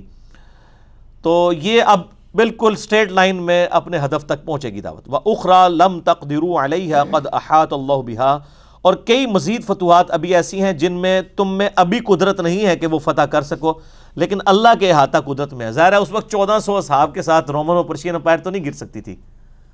آپ دیکھیں یہ صلح دیویہ کا ہوئی ہے؟ چھ ہجری میں۔ صرف پندرہ سو جانسار تھے اور فتح مکہ کے موقع پر دس ہزار اصحاب تھے۔ دو سالوں میں چودہ سو سے دس ہزار مسلمان ہو گئے تھے۔ کیونکہ اس کے بعد قریش مکہ اور باقیوں کو پتا چل گیا تھا کہ نبی الاسلام کے ساتھ اگر قریش نے صلح کر لی ہے نا، دب گئے نا ظاہر ہے۔ صلح وہی کرتا ہے جو دب جائے۔ ورنہ پہلے تو یہ بدر میں عہد میں اور خندق میں مارنے کے لیے آ گئے تھے نا۔ قریش سے زیادہ تگڑا کوئی نہیں تھا۔ اور پھر قریشی خود مسلمان ہو رہے تھے تو پھر اذا جا نصر اللہ والفتح والا معاملہ ہو گیا۔ لوگ یعنی دس ہزار کا لشکر دو سال بعد اور پھر آپ دیکھیں جب رومن اور پرشین امپائر تو پچیس، تیس تیس ہزار کے لشکر گئے ہیں قادسیہ اور یرموک میں۔ قادسیہ میں صرف ساڑھے آٹھ ہزار مسلمان تو شہید ہوئے ہیں۔ تو یہ اکثر ان میں سے تابعی نہیں تھے۔ تو یہ سب لوگ نبی الاسلام کی یعنی بالکل آخری زمانے کے اندر ایمان لانے والے لوگ تھے یا آپ کی وفات کے بعد ایمان لانے والے لوگ تھے۔ تو اللہ تعالیٰ ہے، ابھی تو قدرت نہیں، لیکن اللہ نے احاطہ کیا ہوا ہے یرموک اور قادسیہ کا بھی۔ وقان اللہ علاق الشعین قدیرہ اور اللہ تعالیٰ ہر چیز پر قدرت رکھتا ہے۔ ولو قاتلکم الدین کفرو لول لول لول ادبار۔ اگر یہاں پہ کوئی جنگ ہو جاتی صلح دیبیہ کے موقع پر، پھر بھی کافروں پر تمہارا ہی غلبہ ہوتا ہے، یہ پیٹ پھیر کے بھاگ جاتے ثم لا یجدون ولی ولا نصیرہ پھر ان کا نہ کوئی مددگار ہوتا، نہ کوئی پشت پناہ سنت اللہ التی قد خلط من قبل۔ اللہ کی سنت پہلے بھی رہی ہے کہ اللہ تعالیٰ وقت کے پیغمبر کا ساتھ دیتا ہے۔ اگر آج قریش مکہ نے صلح کر لیا اور وہ یہ سمجھ رہے ہیں کہ ہم نے مسلمانوں کو دبا کے صلح کر لیا اگر یہ لڑائی کا بھی شوق پورا کرنا چاہتا تھے کر کے دیکھ لیتے۔ یہاں پہ بھی اللہ تعالیٰ نے فتح دینی تھی مسلمانوں کو۔ اللہ کی یہ سنت رہی ہے کہ انبیاء کا ساتھ دیتا ہے۔ وہ الدی کف ایدیہم عنکم و ایدیکم عنہم ببطن مکہ وہی اللہ ہے جس نے روک لیا تمہیں تمہارے ہاتھوں سے ان کو اور ان کے ہاتھوں سے تمہیں مکے کے اندر۔ یعنی وہ اگلے سال پھر آپ کو پتا نا، سات ہجری کے اندر مسلمانوں نے قضا کی تھی اس عمرے کی۔ تین دن کے لیے قریش مکہ پہاڑوں پہ چڑھ گئے اور انہوں نے پورا کھول دیا کہ آپ آپ آرام سے یہاں پہ کریں، جس میں نبی الاسلام فرمایا تھا کہ رمل کر کے اکڑ کے چلنا ہے، کیونکہ وہاں پہ مشہور تھا کہ مدینہ جو ہے بیماری کی بستی ہے، تو آپ فرمایا کہ اکڑ کے چلنا ہے تاکہ ان کے اوپر پاور شو ہو۔ تو وہ خیر بڑا پھر ان کے اوپر اثر بھی پڑا اس چیز کا۔ اسی کے بعد تو پھر خالد ابن ولید بھی مسلمان ہو گئے تھے نا۔ نبی الاسلام پیغام چھوڑ گئے تھے خالد ابن ولید کے لیے کہ خالد جیسے سمجھدار بندے کو اب زیب دیتا ہے کہ اب وہ کفر کی زندگی مزید گزارے، اب اس کو نظر نہیں آیا۔ تو حضرت خالد ابن ولید تک پیغام پہنچا اور وہ بھی پھر مدینہ شریف گئے اور سے عمر بن آس بھی آ گئے، حبشہ سے۔ اب دونوں جا رہے تو ایمان قبول کرنے تھے، لیکن شرمندگی بھی تھی۔ ایک دوسرے کو بتاتے ہوئے بھی شرما رہے تھے۔ الٹیمیٹلی پھر دونوں جا کے اسلام قبول کیا۔ نبی الاسلام نے اسلام قبول کر لیا، الحمدللہ۔ بلکہ مسلم کے الفاظ ہیں، عمر بن آس کہتے ہیں، میں نے دایاں ہاتھ آگے بڑھایا تو حضور نے بھی آگے کیا، میں نے واپس کھینچ دیا۔ میں نے کہا رسول اللہ، پہلے گارنٹی دے میرے پچھلے سارے گناہ معاف ہو جائے آپ فرمایا، اے عمر، تجھے نہیں پتا اسلام پچھلے کے سارے گناہوں کو معاف کر دیتا ہے۔ یہ مسلم شریف میں تین سو اکیس نمبر حدیث ہے، شروع ہی میں۔ اور ہجرت پچھلے کے سارے گناہوں کو معاف کر دیتی ہے، اور مقبول حج بھی پچھلے کے سارے گناہوں کو معاف کر دیتا ہے۔ تو عمر بن آس اور خالد بن ولید نے نبی الاسلام کی دعوت لانچ ہونے کے انیس سال کے بعد اسلام قبول کیا۔ ان انیس سالوں میں اگر مر جاتے، تو دو میں ہوتے۔ انیس سال تک زندہ رہنا بھی کوئی چھوٹی گال نہیں ہے۔ ٹھیک ہے۔ پھر اللہ تعالیٰ نے اسی خالد ابن ولید سے آپ دیکھ لیں رومن و پرشین پیر الٹوا دیے۔ حضرت خالد ابن ولید چالیس سال کی عمر میں فوت ہوئے۔ اور ان چالیس سال کے اندر انہوں نے یہ سب کچھ کر لیا ہوا تھا۔ ہمس میں فوت ہوئے نا، وہ شام کا جو شہر تھا۔ تو یعنی اس میں یرموک اور قادسیہ ہو چکی تھی، اس کے بعد فوت ہوئے حضرت عمر کے دور کے اندر۔ چالیس سال کی عمر میں یہ فوت ہوئے۔ ہیں نبی الاسلام کی وفات کے تقریباً سمجھ لیں سات آٹھ سال کے بعد۔ تو اس کا مطلب ہے نبی الاسلام کی مبارک زندگی میں ان کی عمر بتیس تینتیس سال تھی جب انہوں نے اسلام جب قبول کیا تو اس وقت سمجھ لیں آپ تیس، اٹھائیس، انتیس سال عمر ہوگی۔ اور یہ دس سال انہوں نے اسلام کے لیے صرف گزارے ہیں۔ تیس سال کفر میں، دس سال اسلام میں۔ لیکن سو جگہیں لڑی ہیں، ایک بھی نہیں آ رہے۔ ایون غزب عہد پہ ان کی وجہ سے نبی الاسلام کے مبارک دان شہید ہو گئے تھے۔ اور مسلم شریف کے الفاظ ہیں، آپ کی زبان سے نکل گیا۔ کہ اللہ تعالیٰ ایسی قوم کو کیسے ہدایت دے گا جنہوں نے اپنے نبی کا چہرہ خون سے رنگ دیا؟ تو اللہ نے قرآن میں فرمایا، آپ کو کوئی اختیار نہیں، اللہ تعالیٰ چاہے تو ان کی توبہ بھی قبول کر لے۔ اور اسی مبارک زبان سے سیف اللہ کا لقب بھی ملا۔ تو یہ اللہ تعالیٰ، آپ دیکھیں، اللہ تعالیٰ کے کرائٹیریا اپنے ہیں۔ ایک انیس سال تک اسلام دشمن رہا ہے، اس کو اللہ نے اٹھایا ہے اور اس سے رومن اور پرشین امپائر الٹوا دیے۔ جونین بندوں میں سے تھا نا۔ یہ اللہ کو پتا ہے کہ کسی کے ساتھ کیا معاملہ کرنا ہے۔ تو اللہ تعالیٰ ماتا یہ جو مکے کے اندر لڑائی نہیں ہوئی ہے، یہ ہماری اسپیشل پروٹیکشن تھی۔ من بعد ان اظفرکم علیہم۔ باوجود اس کے کہ تم، تمہیں ان پر اللہ تعالیٰ نے مکے میں قابو دے دیا تھا۔ وکان اللہ بما تعملون بصیرہ اور اللہ تعالیٰ جو کچھ تم کر رہے ہو، اس کو دیکھ رہا ہے۔ ہم الدین کفر وصدوکم عن المسجد الحرام۔ اور یہی وہ بد نصیب ہے جنہوں نے کفر کیا اور تمہیں بھی مسجد حرام سے روکا۔ والہدیہ۔ اور تمہاری قربانی کے جانوروں کو بھی نہیں جانے دیا یعنی صلح دیبیہ کے موقع پر معقوفاً این یبلغا محلہ، کہ وہ جانور اپنی قربان گاہوں تک پہنچ جائیں۔ یعنی جا کے منا کے اندر قربان ہو وہاں تک انہوں نے جانے بھی نہیں دیا۔ یہ محلہ کا لفظ اردو میں بھی لفظ استعمال ہوتا ہے۔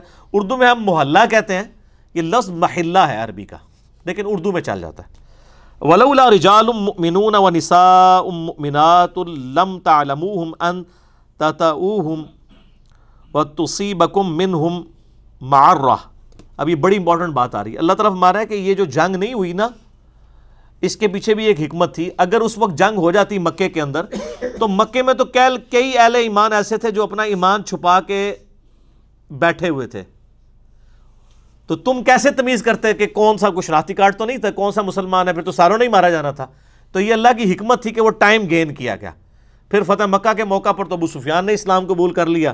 تو اس کے گھر کو یہ اللہ تعالیٰ کے نبی علیہ السلام نے ڈکلیئر کر دیا کہ وہاں پہ جو آئے گا وہ امن پالے گا۔ اگر نہ ہوتا مکہ میں چند مسلمان مرد اور چند مسلمان عورتیں جن کو تم نہیں جانتے، تو یہ اندیشہ تھا کہ تم انہیں بھی رون ڈالتے۔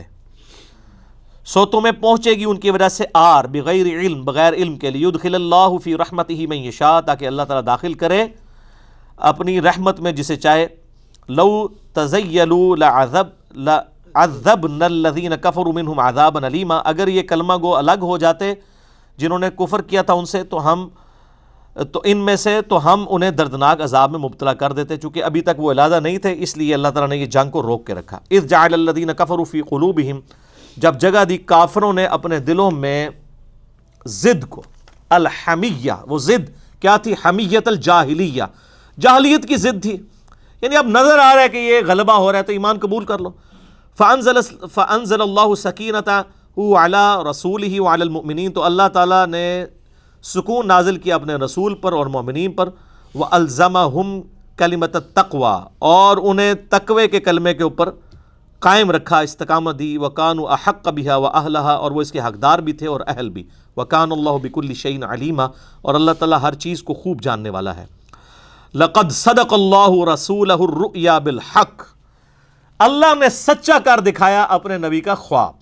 اب اسی بخاری کے حدیث میں آتا ہے کہ وہ حضرت عمر نے کہا، آپ نے تو کہا تھا مجھے خواب آیا، تو آپ نے فرمایا، میں نے یہ کہا تھا نا، عمرہ کر رہے ہیں۔ یہ تو نہیں کہا تھا، اسی سال کر رہے ہیں۔ وہ اگلے سال اللہ نے خواب پورا کر دیا۔ کوئی ڈیٹ تو نہیں بتائی تھی۔ تو اللہ تعالیٰ اب اس کا بھی جواب دے رہا ہے کہ اللہ نے اپنے نبی کا خواب پورا کر دکھایا، سچا کر دکھایا۔ لَتَدْخُلُنَّ الْمَسْجِدِ الْحَرَامَ إِنشَاءَ اللَّهُ آمِنِينَ۔ کہ تم ضرور داخل ہوگے مسجد حرام میں امن کے ساتھ، محلقین رؤوسکم، حلق کروا رہے ہوگے اپنے سروں پر، وہ مقصرین اور ترشوا بھی رہے ہوگے۔ حلق کروانا بھی یعنی یہ تو افضل ہے۔ بخاری میں آتا ہے، تین دفعہ دعا کی حلق والوں کے لیے، ایک دفعہ کسر کروانا۔ لا تخافون، تمہیں کسی کا خوف نہیں ہوگا۔ فعلم ما لم اللہ نے وہ جانتا ہے جو کچھ تم نہیں جانتے۔ فجعل مل دون ذالک فتحا قریبا۔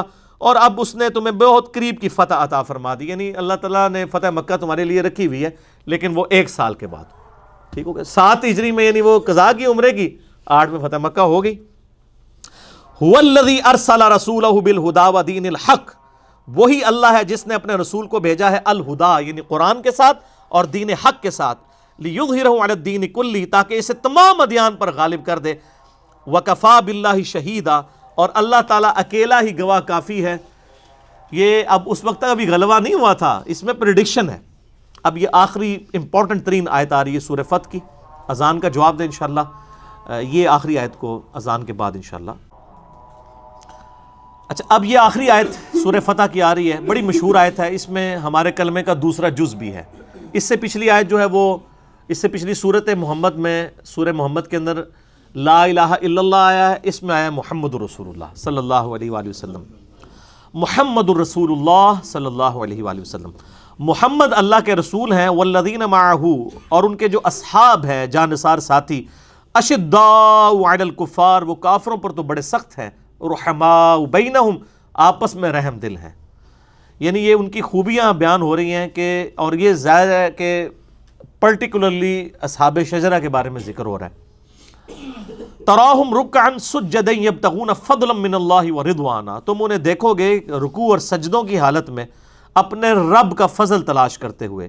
سیماہم فی وجوہہم من اثر السجود۔ اور سجدوں کی جو رونق ہے ان کے چہروں پر دکھائی بھی دیتی۔ ہے ایک تو فزیکلی بھی یعنی وہ نشان پڑ جاتا ہے جسے کہتے ہیں محراب پڑ گیا۔ آج کل تو کم لوگوں کو ہی پڑھتا ہے کیونکہ ظاہر ہے کہ ہم لوگ قالینوں کے اوپر نماز پڑھتے ہیں۔ پرانے زمانے میں وہ کھجور کی چٹائیاں ہوا کرتی تھیں، ان کے اوپر اگر آپ ایک سال بھی نماز پڑھ لینا تو محراب پڑ جاتا ہے۔ تو یہ محراب پڑھنا کوئی کسی کے جنتی ہونے کی دلیل نہیں ہے۔ اگر کوئی سمجھتا ہے تو بریلیوں سے پوچھیں یہ دیوبندیوں کو جو ڈلا ہوا ہے۔ کہیں گے نا، دیوبندیوں سے پوچھیں بریلیوں کو جو ڈلا ہوا ہے، وہ کہیں گے نا۔ تو یہ کوئی دلیل نہیں ہے۔ محراب تو ساروں کو ڈلے ہوئے ہیں، جو یعنی سجدہ کرتا ہے اس کو محراب پڑ جاتا ہے۔ یہاں پہ اسپیسیفکلی یعنی اللہ تعالیٰ ان کے چہرے کی رونق کی بات کر رہا ہے۔ ذالک مثلہم فی یہ ان کی وہ صفات ہیں اصحاب رسول کی، عز و جل و صلی اللہ علیہ وآلہ وسلم ورضی اللہ عنہ مجمعین جو تورات میں ذکر ہوئی تھی، ذالک مثلہم فی التوراہ و مثلہم فی الانجیل، اور انجیل میں بھی ان کی یہ خوبیاں آئی کہ یہ جانسار ساتھی آپ کو ملیں گے۔ اور اللہ نے فرمایا، ان کی مثال کیا ہے؟ کَزَرْعٍ أَخْرَجَ شَتْأَهُ یہ ایک ایسی کھیت کی مانند ہے کہ جو یعنی پہلے اس نے ایک پٹھا نکالا یعنی ایک تنا نکلا۔ تو فَآزَرَهُ فَاسْتَغْلَدَ فَاسْتَوَى عَلَى سُوقِهِ۔ اس کے بعد اس کو تقویت ہوئی، وہ پھر سیدھا کھڑا ہو گیا اپنے اس تنے پر۔ یعجب الزرا لیغیظ بہم الکفار جو اب اس کو جب وہ کسان دیکھتا ہے تو وہ خوش ہوتا ہے اور کافروں کے دل میں اس کا روب ڈلتا ہے۔ یہاں کسان سے مراد نبی علیہ السلام ہے کہ ایک وہ وقت تھا مکے میں صرف ایک سو پچیس بندے مسلمان تھے اور ایک یہ حالت ہے کہ پندرہ سو لوگوں نے موت کے اوپر حضور کی بیعت کر لی ہے۔ تو یہ نبی علیہ السلام نے اپنی زندگی میں وہ وہ وقت بھی دیکھا کہ جب آپ کو اپنے رشتہ داروں سے تکلیفیں اٹھانی پڑی، حتیٰ کہ مکہ چھوڑنا پڑا۔ اور آج یہ حال ہے کہ وہ قریش مکہ جو عرب کی سب سے بڑی پاور ہیں، وہ سر تسلیم خم کر چکے ہیں۔ ڈر تو گئے نا، اسی لیے صلح کی۔ صلح ہوتی اس صورت میں جب دونوں طرف پارٹیاں برابر کی ہوں، ورنہ کمزور اور تگڑے کے درمیان تو صلح نہیں ہوتی۔ وعد اللہ الذین آمنوا وعملوا الصالحات۔ اللہ تعالیٰ نے وعدہ کیا ہے اہل ایمان سے اور جو صالح اعمال کریں، منہم ان اصحاب میں سے ہوں گے جو مغفرتم و اجرن عظیمہ مغفرت کا بھی اور اجر عظیم کا بھی۔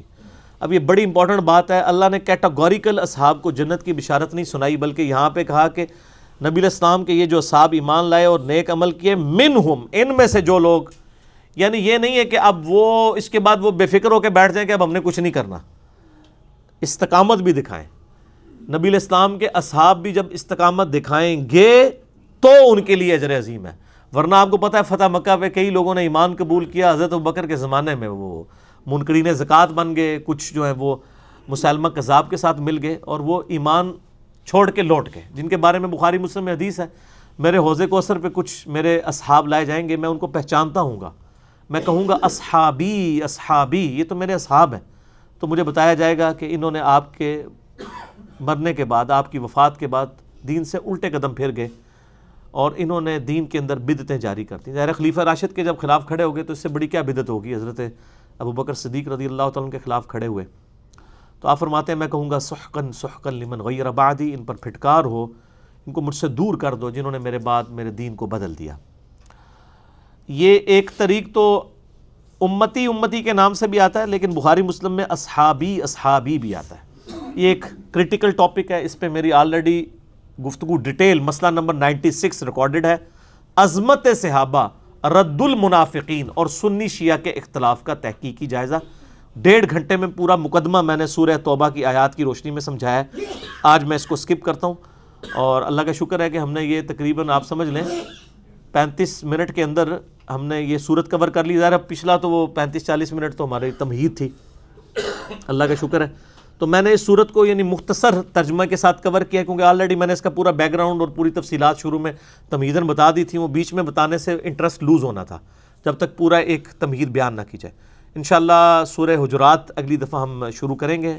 انشاءاللہ قرآن لیکچر نمبر 305 میں اللہ تعالیٰ سے دعا ہے، جو حق بات میں نے کہی، اللہ تعالیٰ ہمارے دلوں میں راسک فرمائے۔ اگر جذبات میں میرے منہ سے کوئی غلط بات نکل گئی تو اللہ تعالیٰ ہمارے دلوں سے محو کر دے۔ ہمیں کتاب و سنت کی تعلیمات پر عمل کر کے دوسرے بھائیوں تک پہنچانے کی توفیق عطا فرمائے۔ دروشی پڑھیں، اللہم صلی علی محمد وعلا علی محمد کما صلیت علی ابراہیم وعلا علی ابراہیم انکا حمید مجید۔ اللہم بارک علی محمد وعلا علی محمد کما بارکت علی ابراہیم وعلا علی ابراہیم انکا حمید مجید۔ سبحانک اللہم و اشد و اللہ الہ الا انت استغفرک و اطوب الیک وما علینا الا البلاغ المبین. جزاکم اللہ خیرہ